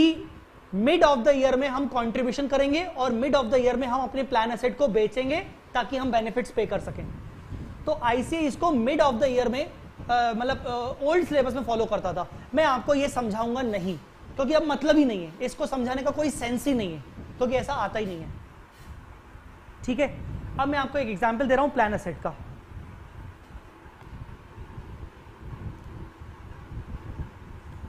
आपको क्या करना है प्लान एसेट का हर साल आपको अकाउंट बनाना है मान लीजिए फर्स्ट ईयर हुआ आपने मान लीजिए बोला कि मैं तो हर साल के बिगनिंग में कंट्रीब्यूशन करूंगा तो आपने बिगनिंग में कंट्रीब्यूशन किया तो आपने एंट्री किया टू बैंक मान लीजिए वन लाख रुपीज आपका आर है ट्वेल्व परसेंट ठीक है ना आपका आर कितना है ट्वेल्व परसेंट करंट ईयर में आपने कुछ भी प्लान एसेट को बेचा नहीं तो एंड में आप क्या लगाओगे टू फाइनेंस इनकम 12 परसेंट मान लीजिए 12,000 तो आपका बाय बैलेंस कितना हो जाएगा वन लैख ट्वेल्व थाउजेंड अगले साल सेकेंड ईयर में beginning to balance one lakh twelve thousand अब हुआ क्या कि आपने सबसे पहले कंट्रीब्यूशन किया मान लीजिए इसने इस बार आपने कंट्रीब्यूशन ज्यादा किया वन लैख फिफ्टी थाउजेंड का क्योंकि ये डिफाइंड कंट्रीब्यूशन तो है नहीं ये डिफाइंड बेनिफिट प्लान है और आपने इस बार अपनी प्लान एसेट को बेचा भी है बाय बैंक वो भी आपने बिगनिंग में बेचा मान लीजिए आपने ज़्यादा नहीं बेचा आपने पंद्रह हजार के आसपास बेचा अब आप प्लस करोगे one twelve plus one fifty minus fifteen thousand तो ये था टू फोर्टी सेवन जब आप फाइनेंस इनकम बुक करोगे फाइनेंस इनकम ट्वेल्व परसेंट तो टू फोर्टी सेवन का ट्वेल्व परसेंट मतलब twenty nine thousand six forty book करोगे ठीक है और ये हो जाएगा आपका बाय बैलेंस समझ आई बारी बात की नहीं यहाँ आपका बाय बैलेंस हो जाएगा two seventy six six forty अब आप मुझसे पूछोगे सर फाइनेंस इनकम की एंट्री क्या होती है तो मैं बोलूंगा सर फाइनेंस इनकम की एंट्री होती है plan assets debit to finance income और ये आपका जाएगा पी एंडल में सिंपली तो इस तरीके से आप अपनी प्लान असेट को बनाते हो अजम्पन क्या है हमारा कि हम जो भी प्लान असेट में हर साल इन्वेस्टमेंट करेंगे और उसमें से अगर कुछ निकालेंगे तो वो बिगिनिंग में निकालेंगे ताकि हम इंटरेस्ट पूरे साल भर का लगा सके बैलेंसिंग फिगर पे ठीक है आई होप आपको ये क्लियर हुआ होगा आप मुझसे डाउट पूछ सकते हो sir if D B P is twenty lakh after ten years so if my investment value is ten thirty lakh after ten years so मैं एम्प्लॉय को ट्वेंटी लैख ही दूंगा कि थर्टी लैख बेटा मैं ट्वेंटी लैख दूंगा because DPP is twenty lakh मेरा जो access investment हो गया वो मैं अपने वापस फंडिंग में ले लूंगा टेक्निकली एक्सेस इन्वेस्टमेंट मैं होने ही नहीं दूंगा जब मुझे पता है कि मेरा डीवीबी ट्वेंटी लाख हो है और मेरे इन्वेस्टमेंट आज बहुत अच्छे दिख रहे हैं आगे चल के वो थर्टी लाख तक जा सकते हैं तो मैं अगले सालों में मैं अपने कॉन्ट्रीब्यूशन को कम कर देता हूँ ताकि मेरा इन्वेस्टमेंट अप टू ट्वेंटी दिखे या ट्वेंटी का ट्वेंटी वन दिखे कोई कंपनी इतनी बेवकूफ नहीं है कि ट्वेंटी लाख के डीपीपी के लिए वो थर्टी लाख का इन्वेस्टमेंट कर दे आगे चल के अगले सालों के में वो अपना कॉन्ट्रीब्यूशन गिरा देगी ठीक है और अगर कुछ एक्सेस आ जाएगा जैसे आपने पूछा है टेन लैख तो वो आपका इनकम हो जाएगा कोई दिक्कत नहीं या आपका वो पड़ा रहेगा हमेशा के लिए वो आपका असेट पड़ा रहेगा क्योंकि अभी आपके दूसरे एम्प्लॉय भी तो हैं आपने अपने एक एम्प्लॉय के लिए थोड़ी बनाया आपके तो एम्प्लॉय हैं बहुत सारे तो ये जो प्लान असेट है ये वन टाइम नहीं होता ये रेगुलर बेसिस पे चलता रहता है हर एम्प्लॉयज के लिए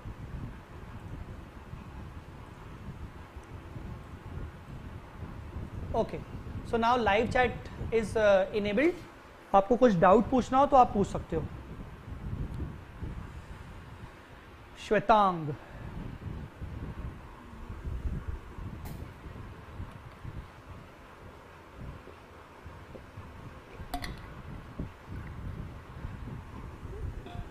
sir if nothing is given we assume CSC to be paid at the end और at the beginning Tanvi at the end CSC we will assume at the end मैंने assumption लिया beginning का क्योंकि ऐसा कोई question है नहीं पर आपको एजम्पन लेना है एट द एंड का sir is it necessary that every time we will be selling our plan assets then it will always be capital gain there will be capital I am say ना there can be capital gain there can be capital loss ना this is that is not our concern that is basically assumed by actually कि यार कभी capital gain भी हो सकता है कभी कैपिटल लॉस हो सकता है कुछ को कैपिटल कुछ पे ज्यादा फायदा होगा कुछ पे लॉस होगा तो ऑन एन एवरेज वो एक रेट ऐसा अज्यूम करेगा जिसमें कैपिटल गेन कैपिटल लॉस दोनों कवर हो जाए plan sir to be measured at fair value और not sir it is to be measured at fair value मैं अभी उस पर आऊंगा नालायक लोगों मैं अभी जिस चीज पे आ ही नहीं रहा हूं वो मुझसे पहले पूछ रहे हो Swati Somani question six months तो yes we can use that one for assumption it is required to write a note yes you can if you want to if you actually write that note it is better what if the employee resigns in the middle of the year after बेटा एक employ resign करेगा दो employ resign करेंगे पूरी company के सारे employ तो resign करेंगे नहीं तो हम अपना कंट्रीब्यूशन कम कर देंगे पॉइंट किया सर डीबीबी के लिए एल को अपॉइंट किया तो आपने बोला कि अब मुझे फिक्स प्रीमियम ही देना होगा एलआईसी को एल मेरी लाइबिलिटी मान मैनेज करेगा रवि केडिया मुझे फिक्स प्रीमियम देना पड़ेगा जितना जितना एल मुझसे प्रीमियम मांग रहा है पहले साल एल ने बोला एक लाख रुपए दो मैंने ठीक है अगले साल एलआईसी बोला भैया मार्केट अच्छा नहीं चल रहा डेढ़ लाख रुपए दे दो दैट प्रीमियम में also very but that entire to be manage by L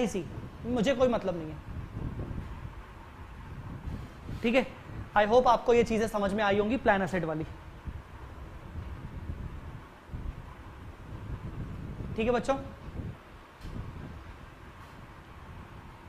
question में ड्यूरिंग द ईयर लिखा हो तो बिगनिंग अज्यूम करेंगे या छह महीने Ravi Kedia beginning beginning beginning beginning beginning six monthly मतलब mid of the year assume तभी करोगे जब उसने स्पेसिफिकली आपको बोला हो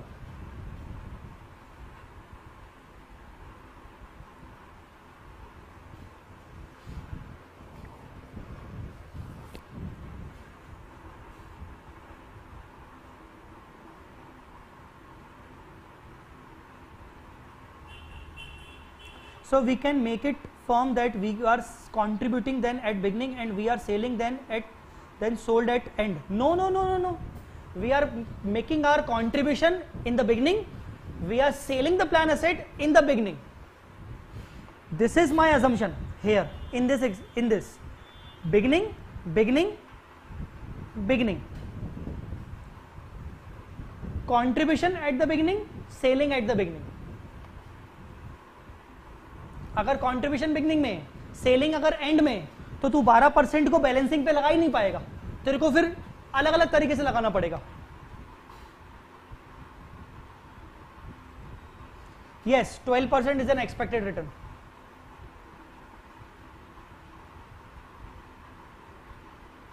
sir if in question are is not given are अगर क्वेश्चन में दिया ही नहीं होगा तो you can not prepare the plan asset account R O have to be given don't worry are देना ही पड़ेगा उनको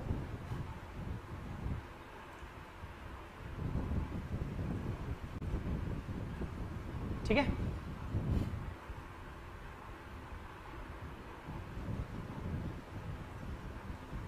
चलिए I hope how to calculate following items ये सबसे इंपॉर्टेंट पॉइंट है आपको ये समझ में आ गया होगा अब चलते हैं आगे remeasurement what is this remeasurement अगर एक्चुअली के अजम्पन्स बदल जाए डिस्काउंटिंग रेट बदल जाए अगर एक्चुअली का डिस्काउंटिंग रेट चेंज हो जाए first year actually has assumed 10 percent second year 10 percent third year 10 percent fourth year 10 percent fifth year twelve percent nine percent अगर डिस्काउंटिंग रेट चेंज हो जाए तो क्या करेंगे अगर आर चेंज हो जाए तो क्या करेंगे कोई दिक्कत नहीं है मेन डिस्काउंटिंग रेट का फंडा है आर अगर हर साल चेंज होगा तो वो चेंज होता रहे वो कोई दिक्कत नहीं आप चलते रहोगे प्रोस्पेक्टिव इफेक्ट लेते रहोगे देखिए यहां पर क्या लिखा है defined benefit obligation DBO shall be measured as per the discounting rate revise by actually and other revise assumptions any change to above shall be actuarial gain and transfer to OCI अगर आप discounting rate change करते हो तो आपका DBO change हो जाएगा अगर आपका डीबीओ चेंज हो गया तो जो भी डिफरेंस आएगा वो या तो आपकी लाइबिलिटी बढ़ेगी या तो लाइबिलिटी कम होगी समझो सीधी सीधी बात है डिस्काउंटिंग रेट चेंज करने से आपका लाइबिलिटी बढ़ सकती है या तो लाइबिलिटी कम हो सकती है अगर लाइबिलिटी बढ़ गई तो एक्चुअल लॉस अगर लाइबिलिटी कम हो गई तो एक्चुअल गेन और वो एक्चुअल लॉस के एक्चुअल गेन कहा जाएगा ओसीआई में आई मेरी बात समझ में ठीक है plan asset shall be measured at fair value at each balance sheet date her balance sheet date पर आपको अपनी प्लान असेट को मार्केट वैल्यू पे लिखना है फेयर वैल्यू पे लिखना है जब आप फेयर वैल्यू पे लिखोगे तो जो भी डिफरेंस आएगा वो भी आपका एक्चुअल गेन होगा या एक्चुअल लॉस होगा और उसको भी आप कहां ले जाओगे ओसीआई में मतलब आपके दोनों के दोनों चेंजेस प्लान असेट के चेंजेस और डीबीओ के चेंजेस कहां जाएंगे ओसीआई में actual gain actual loss OCI whether DBO और प्लान असेट और वो जो ओसीआई होगा shall not be reclassified to P and L OCI के कुछ कैटेगरी ऑफ आइटम्स होते हैं जिसको आप पीएनडल में रिक्लासीफाई करते हो जब वो असेट लाइबिलिटी खत्म हो जाती है और ओसीआई के कुछ ऐसे कैटेगरी ऑफ आइटम्स होते हैं जिनको आप पीएनडल में कभी भी रिक्लासीफाई नहीं करते हो ओसीआई के कुछ आइटम ऐसे होते हैं जब जब आप उनको रिक्लासीफाई करते हो पीएनएल में जैसे Ind AS twenty one foreign currency translation reserve but OCI के कुछ आइटम ऐसे होते हैं जैसे ये वाले इनको आप पीएनएल में कभी भी ट्रांसफर नहीं करोगे ठीक है अच्छा अब मैं आपको एग्जाम्पल देता हूँ पहले प्लान असेट का आप यहां देखेंगे कायदे से मेरा जो प्लान असेट का बैलेंसिंग फिगर आ रहा है this is basically the carrying amount but fair value जो है वो मान लीजिए है टू लैख एटी थाउजेंड मुझे क्या करना है मुझे क्या करना है मुझे बैलेंसिंग फिगर को टू एट्टी दिखाना है बेसिकली बैलेंस शीट डेट पर मेरा प्लान एसेट फेयर वैल्यू पे होना चाहिए अब जैसे ही फेयर वैल्यू पे होगा तो ये अकाउंट में डिफरेंस आ जाएगा तीन चार हजार रुपए का टू एट्टी माइनस और sorry plus fifteen thousand minus one one two three three six zero so this three three six zero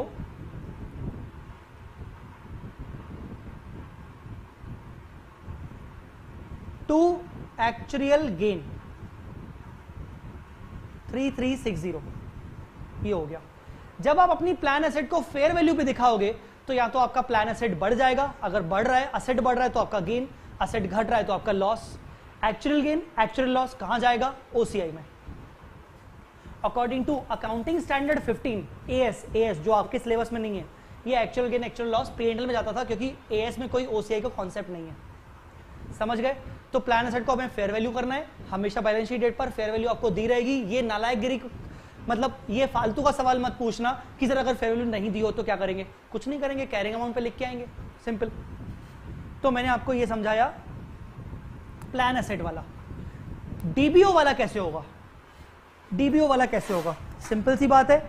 यहां पर मैंने आपको एक एग्जाम्पल दिया था यहां आइए यहां आपको एग्जाम्पल दिया था सेकेंड ईयर में इतना था मान लीजिए थर्ड ईयर में है five lakh ten thousand two ninety तो फोर्थ ईयर के बिगनिंग में आ गया five lakh ten thousand two ninety आपको करना क्या है हमारा इंटरेस्ट कॉस्ट ओरिजिनल कितना था ओरिजिनल डिस्काउंटिंग रेट क्या था टेन परसेंट आपका रिवाइज डिस्काउंटिंग रेट मान लो हो गया इलेवन परसेंट अब आप क्या करोगे आप पूरी कैलकुलेशन पूरी की पूरी कैलकुलेशन आप रिवाइज करोगे सब शुरू से पूरे स्टार्टिंग से आप पूरी कैलकुलेशन रिवाइज करोगे बेस्ड ऑन इलेवन परसेंट और आप ये देखोगे कि अगर आप शुरू से इलेवन परसेंट लेते अगर आप बिगिनिंग से पूरा स्टार्टिंग से अगर आपका इलेवन परसेंट से अगर आप क्वेश्चन सॉल्व करते तो आज आपके फोर्थ ईयर में क्या वैल्यू आनी चाहिए थी आपकी वैल्यू कितनी आ रही है five lakh ten thousand based on ten percent पर अगर ये इलेवन परसेंट के हिसाब से मैं शुरू से करता तीनों साल में तो आज मेरे फोर्थ ईयर के बिगनिंग में होना चाहिए था फाइव लैख लेटर से फाइव लैख ट्वेंटी थाउजेंड मतलब मेरी लाइबिलिटी बढ़ रही है तो मैं क्या करूंगा मैं five lakh twenty thousand minus five lakh ten thousand two ninety मतलब nine thousand seven hundred ten से एक्चुअल लॉस बुक करूंगा और एंट्री करूंगा actual loss account debit to D B O liability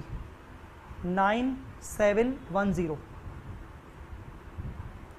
और जो ये एक्चुअल लॉस होगा मैं इसको ओसीआई में ले जाऊंगा नेक्स्ट ईयर से जो भी इंटरेस्ट निकलेगा वो 11 परसेंट रिवाइज लाइबिलिटी पे निकलेगा सिंपल आई मेरी बात समझ में सो so, इस तरीके से आप ये सिक्स पॉइंट को समझ सकते हो मेजर रीमेजरमेंट को ये रीमेजरमेंट वाला पॉइंट बहुत इंपॉर्टेंट है ठीक है रीमेजरमेंट वाला पॉइंट बहुत इंपॉर्टेंट है अगर आपको मुझसे कुछ पूछना है तो पूछ सकते हो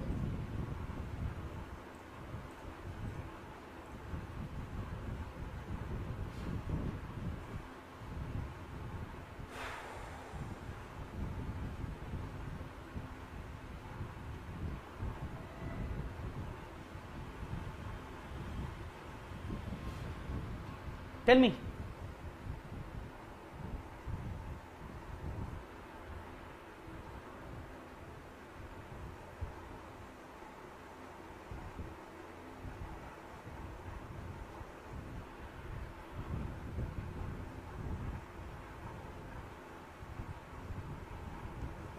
interest 520 plus CAC into 11 percent. Swati, yes,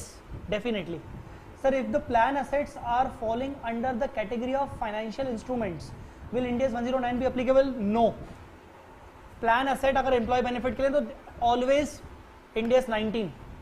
अमल DBO को मेरी मेजर किया तो लॉस तो थर्ड ईयर में ही बुक होना चाहिए तो ना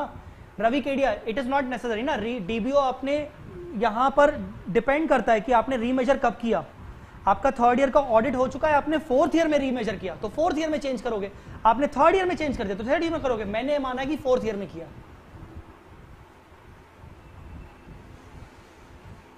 सर ये ओसीआई अमोटाइज कॉस्ट पर रिक्लासीफाई हो सकता है कुछ भी नहीं हो सकता why it is not to be reclassified to P and L बेटा इसका एग्जाम्पल मैं आपको मतलब कहीं बेसिक्स में बता सकता हूं अभी इसको डिफाइन करने के लिए बहुत टाइम लग जाएगा तो अभी मैं इसको नहीं ले रहा हूं सर जब चेंज होगा first year so interest first eleven percent पर कैलकुलेट करेंगे हाँ बिल्कुल बीबीओ को रीमेजर किया तो लॉस तो रवि मैं आपका जवाब दे चुका हूँ बार बार रिपीट मत करो Ind AS twelve will be applicable on plan asset Ind AS twelve will be applicable on plan asset yes it may be applicable yes yes yes क्योंकि प्लान असेट आप फेयर वैल्यू कर रहे हो जबकि आपके tax base उसका carrying amount होगा definitely it will be applicable sir may be पर मैं आपको एक बात बताऊं इंडस्ट्रियल अप्लीकेबल होगा जनरली कंपनीज उस पर बनाती नहीं है डीटी रेटी नहीं बनाती interest will be calculated after considering fair value for the next year onwards interest will be calculated after considering fair value obviously क्योंकि एक्चुअली नहीं आपको फेयर वैल्यू बताइए एक्चुअली एक्चुअली आपको आर बता रहा है तो अगले साल से आप आर जो कंसिडर कर रहे हो वो फेयर वैल्यू पे अगले फेयर वैल्यू के ओपनिंग पे कंसिडर करोगे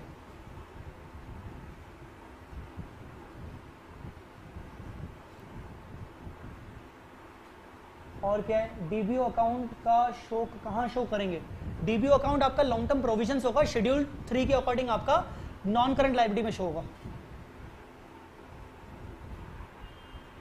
इफ डीबीओ में A L and P A में ए जी या vice versa actual gain P A में वाइस वर्षा तो कैसा हो सकता है कुछ भी हो सकता है उस पर कोई दिक्कत नहीं डीबीओ में आपका एक्चुअल गेन होगा प्लान एसेट में एक्चुअल लॉस होगा तो आपका net actual gain actual loss आपका ओसीआई में जाएगा उससे कोई फर्क नहीं पड़ता आशु गुप्ता रिट्रोस्पेक्टिव कैलकुलेशन अपन क्यों कर रहे हैं उसका लॉजिक क्या है सिंपली रीमेजरमेंट हम जब कर रहे हैं तो हम ये चाह रहे हैं कि आज तक जितने भी चेंजेस हो चुके उसको क्यूमुलेटिवली दिखाया जाए रीमेजरमेंट में कहां पर डीबीओ में मतलब 11 परसेंट हम शुरू से अगर करते तो आज तक का क्यूमुलेटिव चेंज दिखाना चाहते हैं ये लॉजिक है sir how are employ contribution treated if I am maintaining my own plan assets not an issue जैसे मैं अभी बता रहा हूं वैसे ट्रीट होगा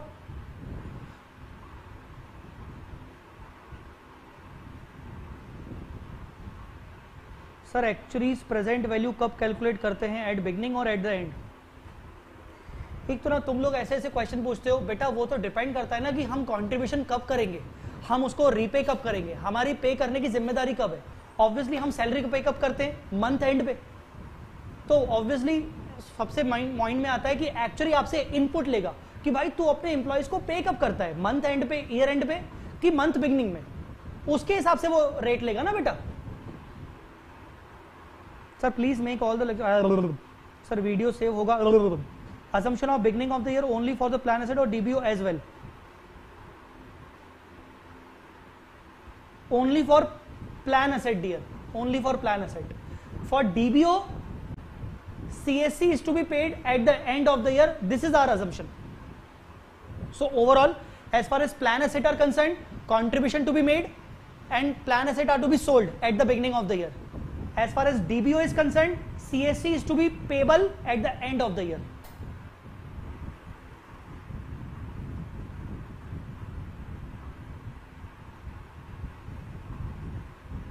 Sir outsider सब कुछ प्लान कर रहा है तो हम ये सब नहीं करेंगे ना रियल लाइफ में हम करते भी नहीं है पर एग्जाम में थोड़ी आउटसाइडर आएगा तुम्हारा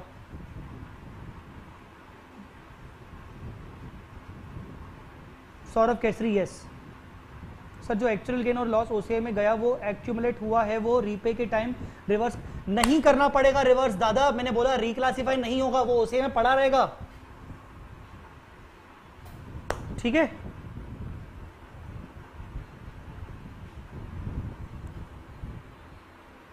चलो आते हैं नेक्स्ट पॉइंट्स पर लगभग लगभग खत्म है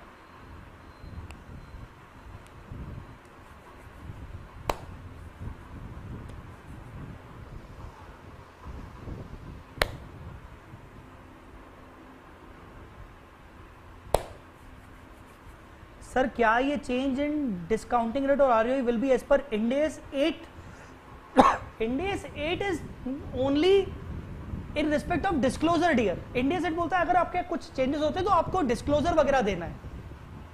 बट यहां इंडेस एट का कोई रोल नहीं है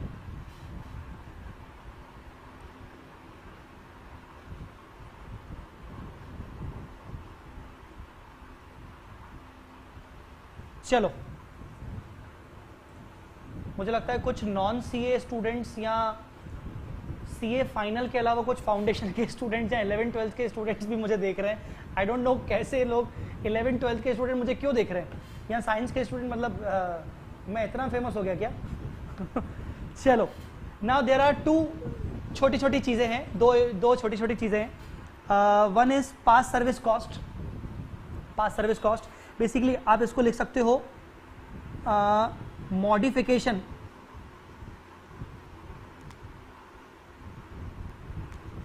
मॉडिफिकेशन इन डीबीपी आपने डिफाइंड बेनिफिट प्लान्स को मॉडिफाइड कर लिया आपने डिफाइंड बेनिफिट प्लान्स को मॉडिफाई कर लिया आपने अपने एम्प्लॉय को बोला था कि मैं तेरे को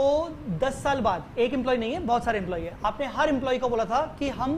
तुम्हारे रिटायरमेंट पे हम तुम्हें 10 लाख का ग्रेचुटी देंगे सबको हमने बोला था सबको दस दस लाख रुपए मिलेंगे आफ्टर फाइव ईयर्स और आफ्टर टेन ईयर्स अभी भी बचा हुआ है टाइम रिटायरमेंट में जो एम्प्लॉय रिटायर हो गए वो चले गए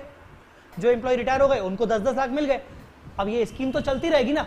after some period of time हमने बोला दस लाख नहीं देंगे पंद्रह लाख देंगे ओ माई गॉड मजा आ गया पंद्रह लाख देंगे मॉडिफिकेशन में आप ध्यान दीजिए मैं हमेशा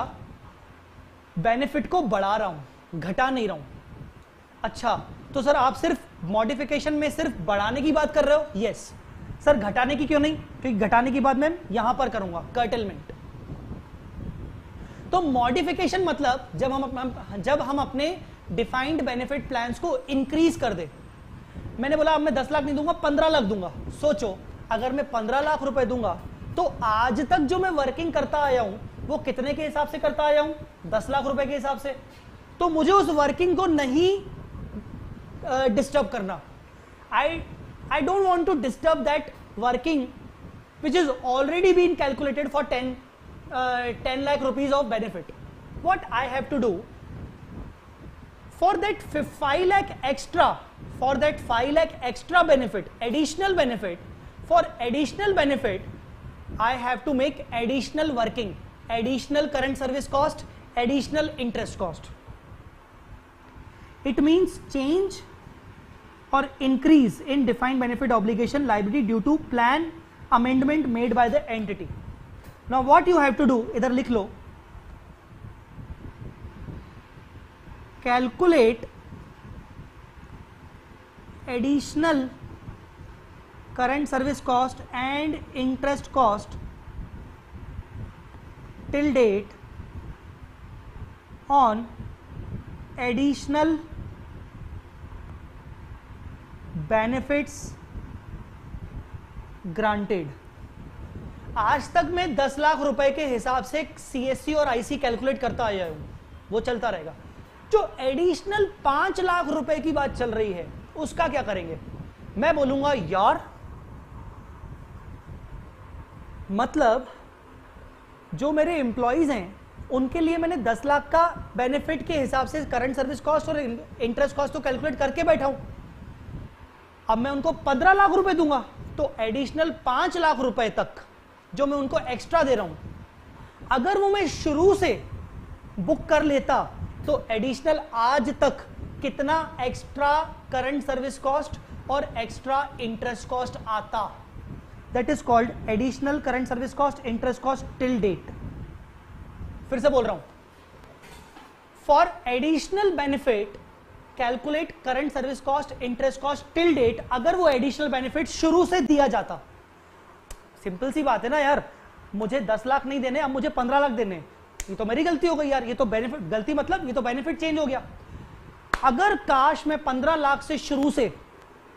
करता आता वर्किंग तो आज मेरी लाइबिलिटी एडिशनल होती तो ठीक है वो एडिशनल लाइबिलिटी आज क्रिएट कर लेते हैं जो भी करंट सर्विस कॉस्ट और इंटरेस्ट कॉस्ट आएगा उसको हम आज बुक कर लेंगे that is called past service cost what do you mean by past service cost past service cost मतलब जो एडिशनल बेनिफिट में ग्रांट कर रहा हूं उस एडिशनल बेनिफिट का आज तक शुरू से लेकर आज तक अगर मैं कैलकुलेट करूं क्यूमुलेटिव सीएससी और IC that cumulative CSC and IC till date will be called as past service cost and हमें इसकी एंट्री पास करनी पड़ेगी past service cost account debit to D B O liability और ये कहा जाएगा it is an expense it is charge to P and L क्योंकि CSC e और आईसी कहां जाता है पेंडल में तो पास सर्विस कॉस्ट कहां जाएगा पेंडल में समझ आया फिर से बोल देता हूं जो एडिशनल पांच लाख रुपए के हिसाब से कायदे से मुझे सीएससी e और आईसी कैलकुलेट करना चाहिए था जो मेरा करंट सीएससी e और आईसी है वो that is based on ten lakh पर अगर पंद्रह लाख के हिसाब से होता तो ज्यादा होता तो उस पांच लाख का एडिशनल कैलकुलेट करके रख लेते हैं और आज तक देखते हैं कि कितना होना चाहिए था that accumulated additional CSC and IC will be known as past service cost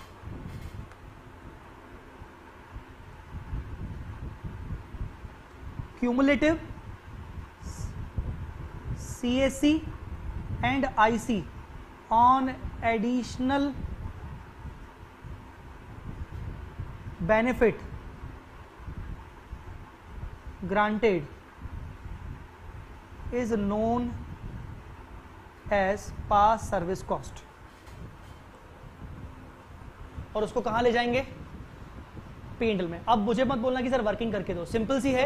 दस लाख के हिसाब से वर्किंग कर ली थे पंद्रह लाख के हिसाब से करनी थी तो पांच लाख एक्स्ट्रा हुआ पांच लाख डिवाइड बाई टेन वो मेरा वाला एग्जाम्पल याद करो वो जो मान लो मेरे एग्जाम्पल में क्या था पचास लाख मान लो मैंने बोल दिया मैं पचास लाख नहीं दूंगा अब मैं एटी लैख दूंगा तो जो थर्टी लैख है thirty lakh additional thirty lakh divide by ten हर साल कितना हुआ three lakh three lakh three lakh three lakh three lakh हर साल थ्री लैख का वही डिस्काउंटिंग वो करते आएंगे जो आज हमारा डिस्काउंटिंग चल रहा है वो करते आएंगे जो आज हमारा चल रहा है उसके हिसाब से आज तक पांच साल हो चुके हैं तो थ्री लैख का पांच साल के बेसिस पर क्यूमुलेटिव सीएससी e और आईसी कितना है that will be called as past service cost ठीक है this is your past service cost past service cost में हम सिर्फ और सिर्फ क्या डील कर रहे हैं increase in liability now the last now the last curtailment and settlement उल्टा कभी कभार क्या होता है uh, कंपनी को लगता है कि अब हम नुकसान में चल रहे हैं जैसे कोरोना आ गया सिंपल कोरोना पे इतने सारे एग्जाम्पल बन सकते हैं यार कोरोना आ गया अब कोरोना के चक्कर में आप भी जानते हो कि बहुत सारे बिजनेसेस को शटडाउन करना पड़ा अब मान लीजिए कंपनी ने बोला कि यार हम अपने एक पर्टिकुलर सेक्टर को शटडाउन कर रहे हैं हम अपने पूरे बिजनेस को शटडाउन नहीं कर रहे हैं हम अपने पर्टिकुलर एक सेक्टर को शटडाउन कर रहे हैं या मान लीजिए हमारी जो ब्रांच इंदौर में है अब हम उसको शटडाउन कर रहे हैं अब हमारे किसी काम की नहीं है तो हमने अपनी एक पूरी ब्रांच को इंदौर की ब्रांच को शट डाउन करना है तो उसमें जो भी हमारे एम्प्लॉयज़ हैं उनको भी हम बाहर निकाल रहे हैं अगर हम उनको भी बाहर निकाल रहे हैं तो उनके लिए जो हमने बेनिफिट डिफाइंड बेनिफिट प्लान तैयार किया था अब हम उनको नहीं देंगे दैट इज कॉल्ड कर्टेलमेंट हो सकता है मैं बेनिफिट उनको ना दूं बट हो सकता है वो लोग मुझसे कॉम्पनसेशन मांगे या मैं ये बोल दूं कि मैं तुम लोगों को नौकरी से निकाल रहा हूं जो बेनिफिट तुम्हारे लिए मैंने डिफाइन किया था I am not going to pay you instead मैं हर एम्प्लॉय को पचास पचास हजार रुपए का कॉम्पनसेशन दे दूंगा it is called settlement settlement मतलब रिड्यूस करना लाइबिलिटी को खत्म खत्म करना सेटलमेंट मतलब इमीडिएट कॉम्पनसेशन दे देना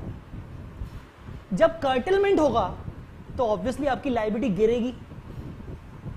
मान लीजिए आपको वो क्वेश्चन में बता देगा कि कर्टलमेंट कितने से हो रहा है ठीक है ना इसके क्वेश्चन ज्यादातर आते नहीं क्योंकि बहुत ईजी है बच्चों का खेल है वो बोलेगा आपकी करंट लाइब्रेटी दिख रही है पचास करोड़ रुपए की उसमें से पांच करोड़ की लाइब्रेटी को हम कर्टल कर रहे हैं तो आप एंट्री क्या करोगे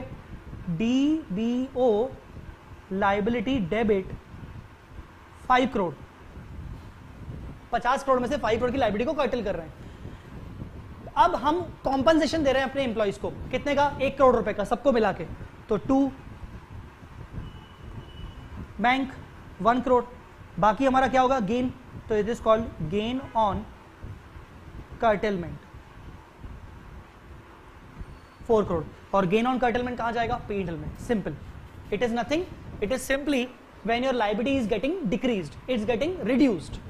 and you are settle you are making the settlement with employees simple I hope आपको यह समझ में आ गया होगा ठीक है सो बेटा this is your past service cost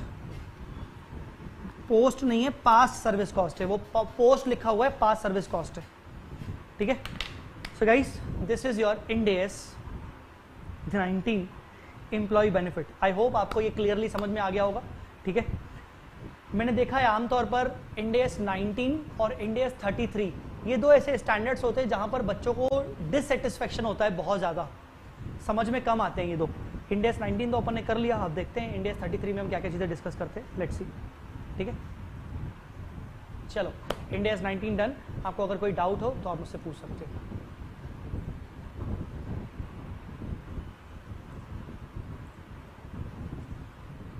आज का अपना पहला दिन कैसा रहा मुझे फीडबैक भी चाहिए अभी के अभी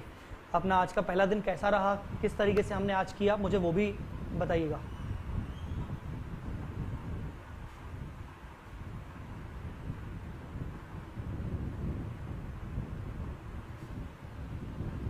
आपको समझ में आया नहीं आया क्लासेस रिज्यूम करके कितना अच्छा लग रहा है कितना बुरा लग रहा है ये भी बताइएगा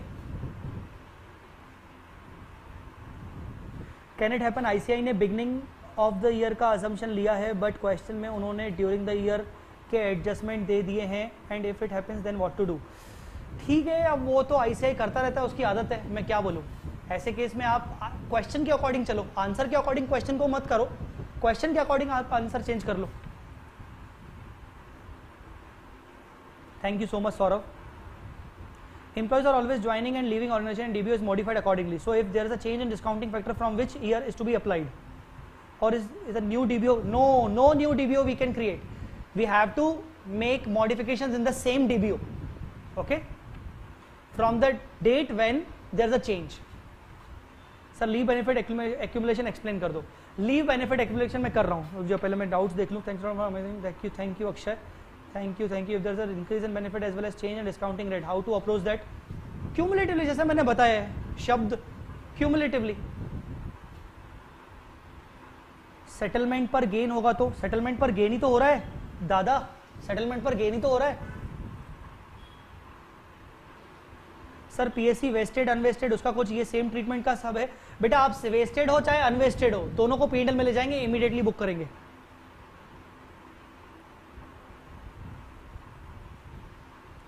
thank you thank you thank you leave encashment leave benefits का बता देता हूं दो टाइप की चीज़ें होती हैं accumulating leaves non accumulating leaves leaves accumulating non accumulating ignore no accounting accumulating में कैश नॉन कैश आपको पता है कि आप कैश सेटलमेंट करोगे कैश सेटलमेंट करोगे तो आप क्या करोगे make hundred percent provision non cash मतलब लीव्स अगेंस्ट लीव्स मतलब आप बोलोगे कि यार तू छुट्टियां एक्स्ट्रा ले ले तो तूने छुट्टियां नहीं की थी तो छुट्टियां एक्स्ट्रा ले पर मैं तेरे को कैश नहीं दूंगा तो मेक एस्टिमेटेड प्रोविजन और वो एस्टिमेटेड प्रोविजन आपको बता दिया जाएगा कि जैसे मान लो मैंने पांच छुट्टियां मेरी एक्यूमलेट हो रही हैं अब ऐसे होते होते पूरे साल भर में मेरी पंद्रह छुट्टियां एक्यूमलेट हो गई अब वो मेरी अगले साल जाएंगी इंप्लॉयर को लगता है ये पंद्रह में से ना पांच छुट्टियां वेस्ट कर देगा मतलब दस ही अलाउ करेगा दस ही एक्स्ट्रा करेगा तो एम्प्लॉय क्या एम्प्लॉयर क्या करेगा टेन लीव्स का प्रोविजन बनाएगा कि यार ये दस छुट्टियां करने वाला है जिसपे मुझे उसको सैलरी तो देनी पड़ेगी पर मैं उसको सैलरी तो दूंगा पर ये आएगा नहीं क्योंकि वो पिछले बार ज्यादा काम कर चुका है तो मैं टेन लीव्स का प्रोविजन बनाऊंगा एस्टिमेशन बेसिस पे सिंपली इस तरीके से होगा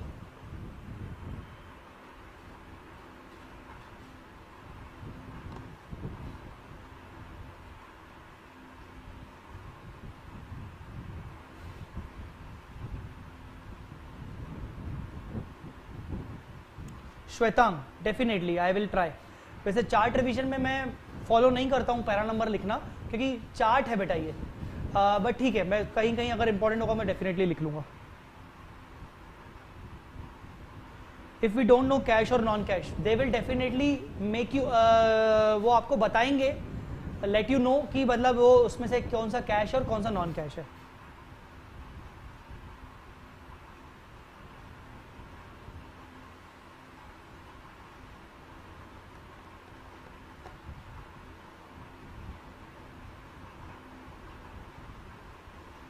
Tejasvi Sahu. It is not treated as terminal benefit. It is as good as terminal, but you can say it is a uh, curtailment of DBP, which is as good as terminal. ठीक है चलो guys आज के लिए इतना ही अभी हम अपना सेशन को ओवर करते हैं guys thank you so much तो मिलते हैं अगले सेशन में अगला सेशन का मैं आपको टेलीग्राम पे बता दूंगा मुझसे स्पेसिफिकली मत पूछेगा सर कब होगा कैसे होगा प्रॉबेबली कल ही होगा बट फिर भी जो भी रहेगा टेलीग्राम पे एक दिन पहले आपको बता दिया जाएगा ठीक है thank you so much bye bye जय माता दी अल्लाह हाफिज़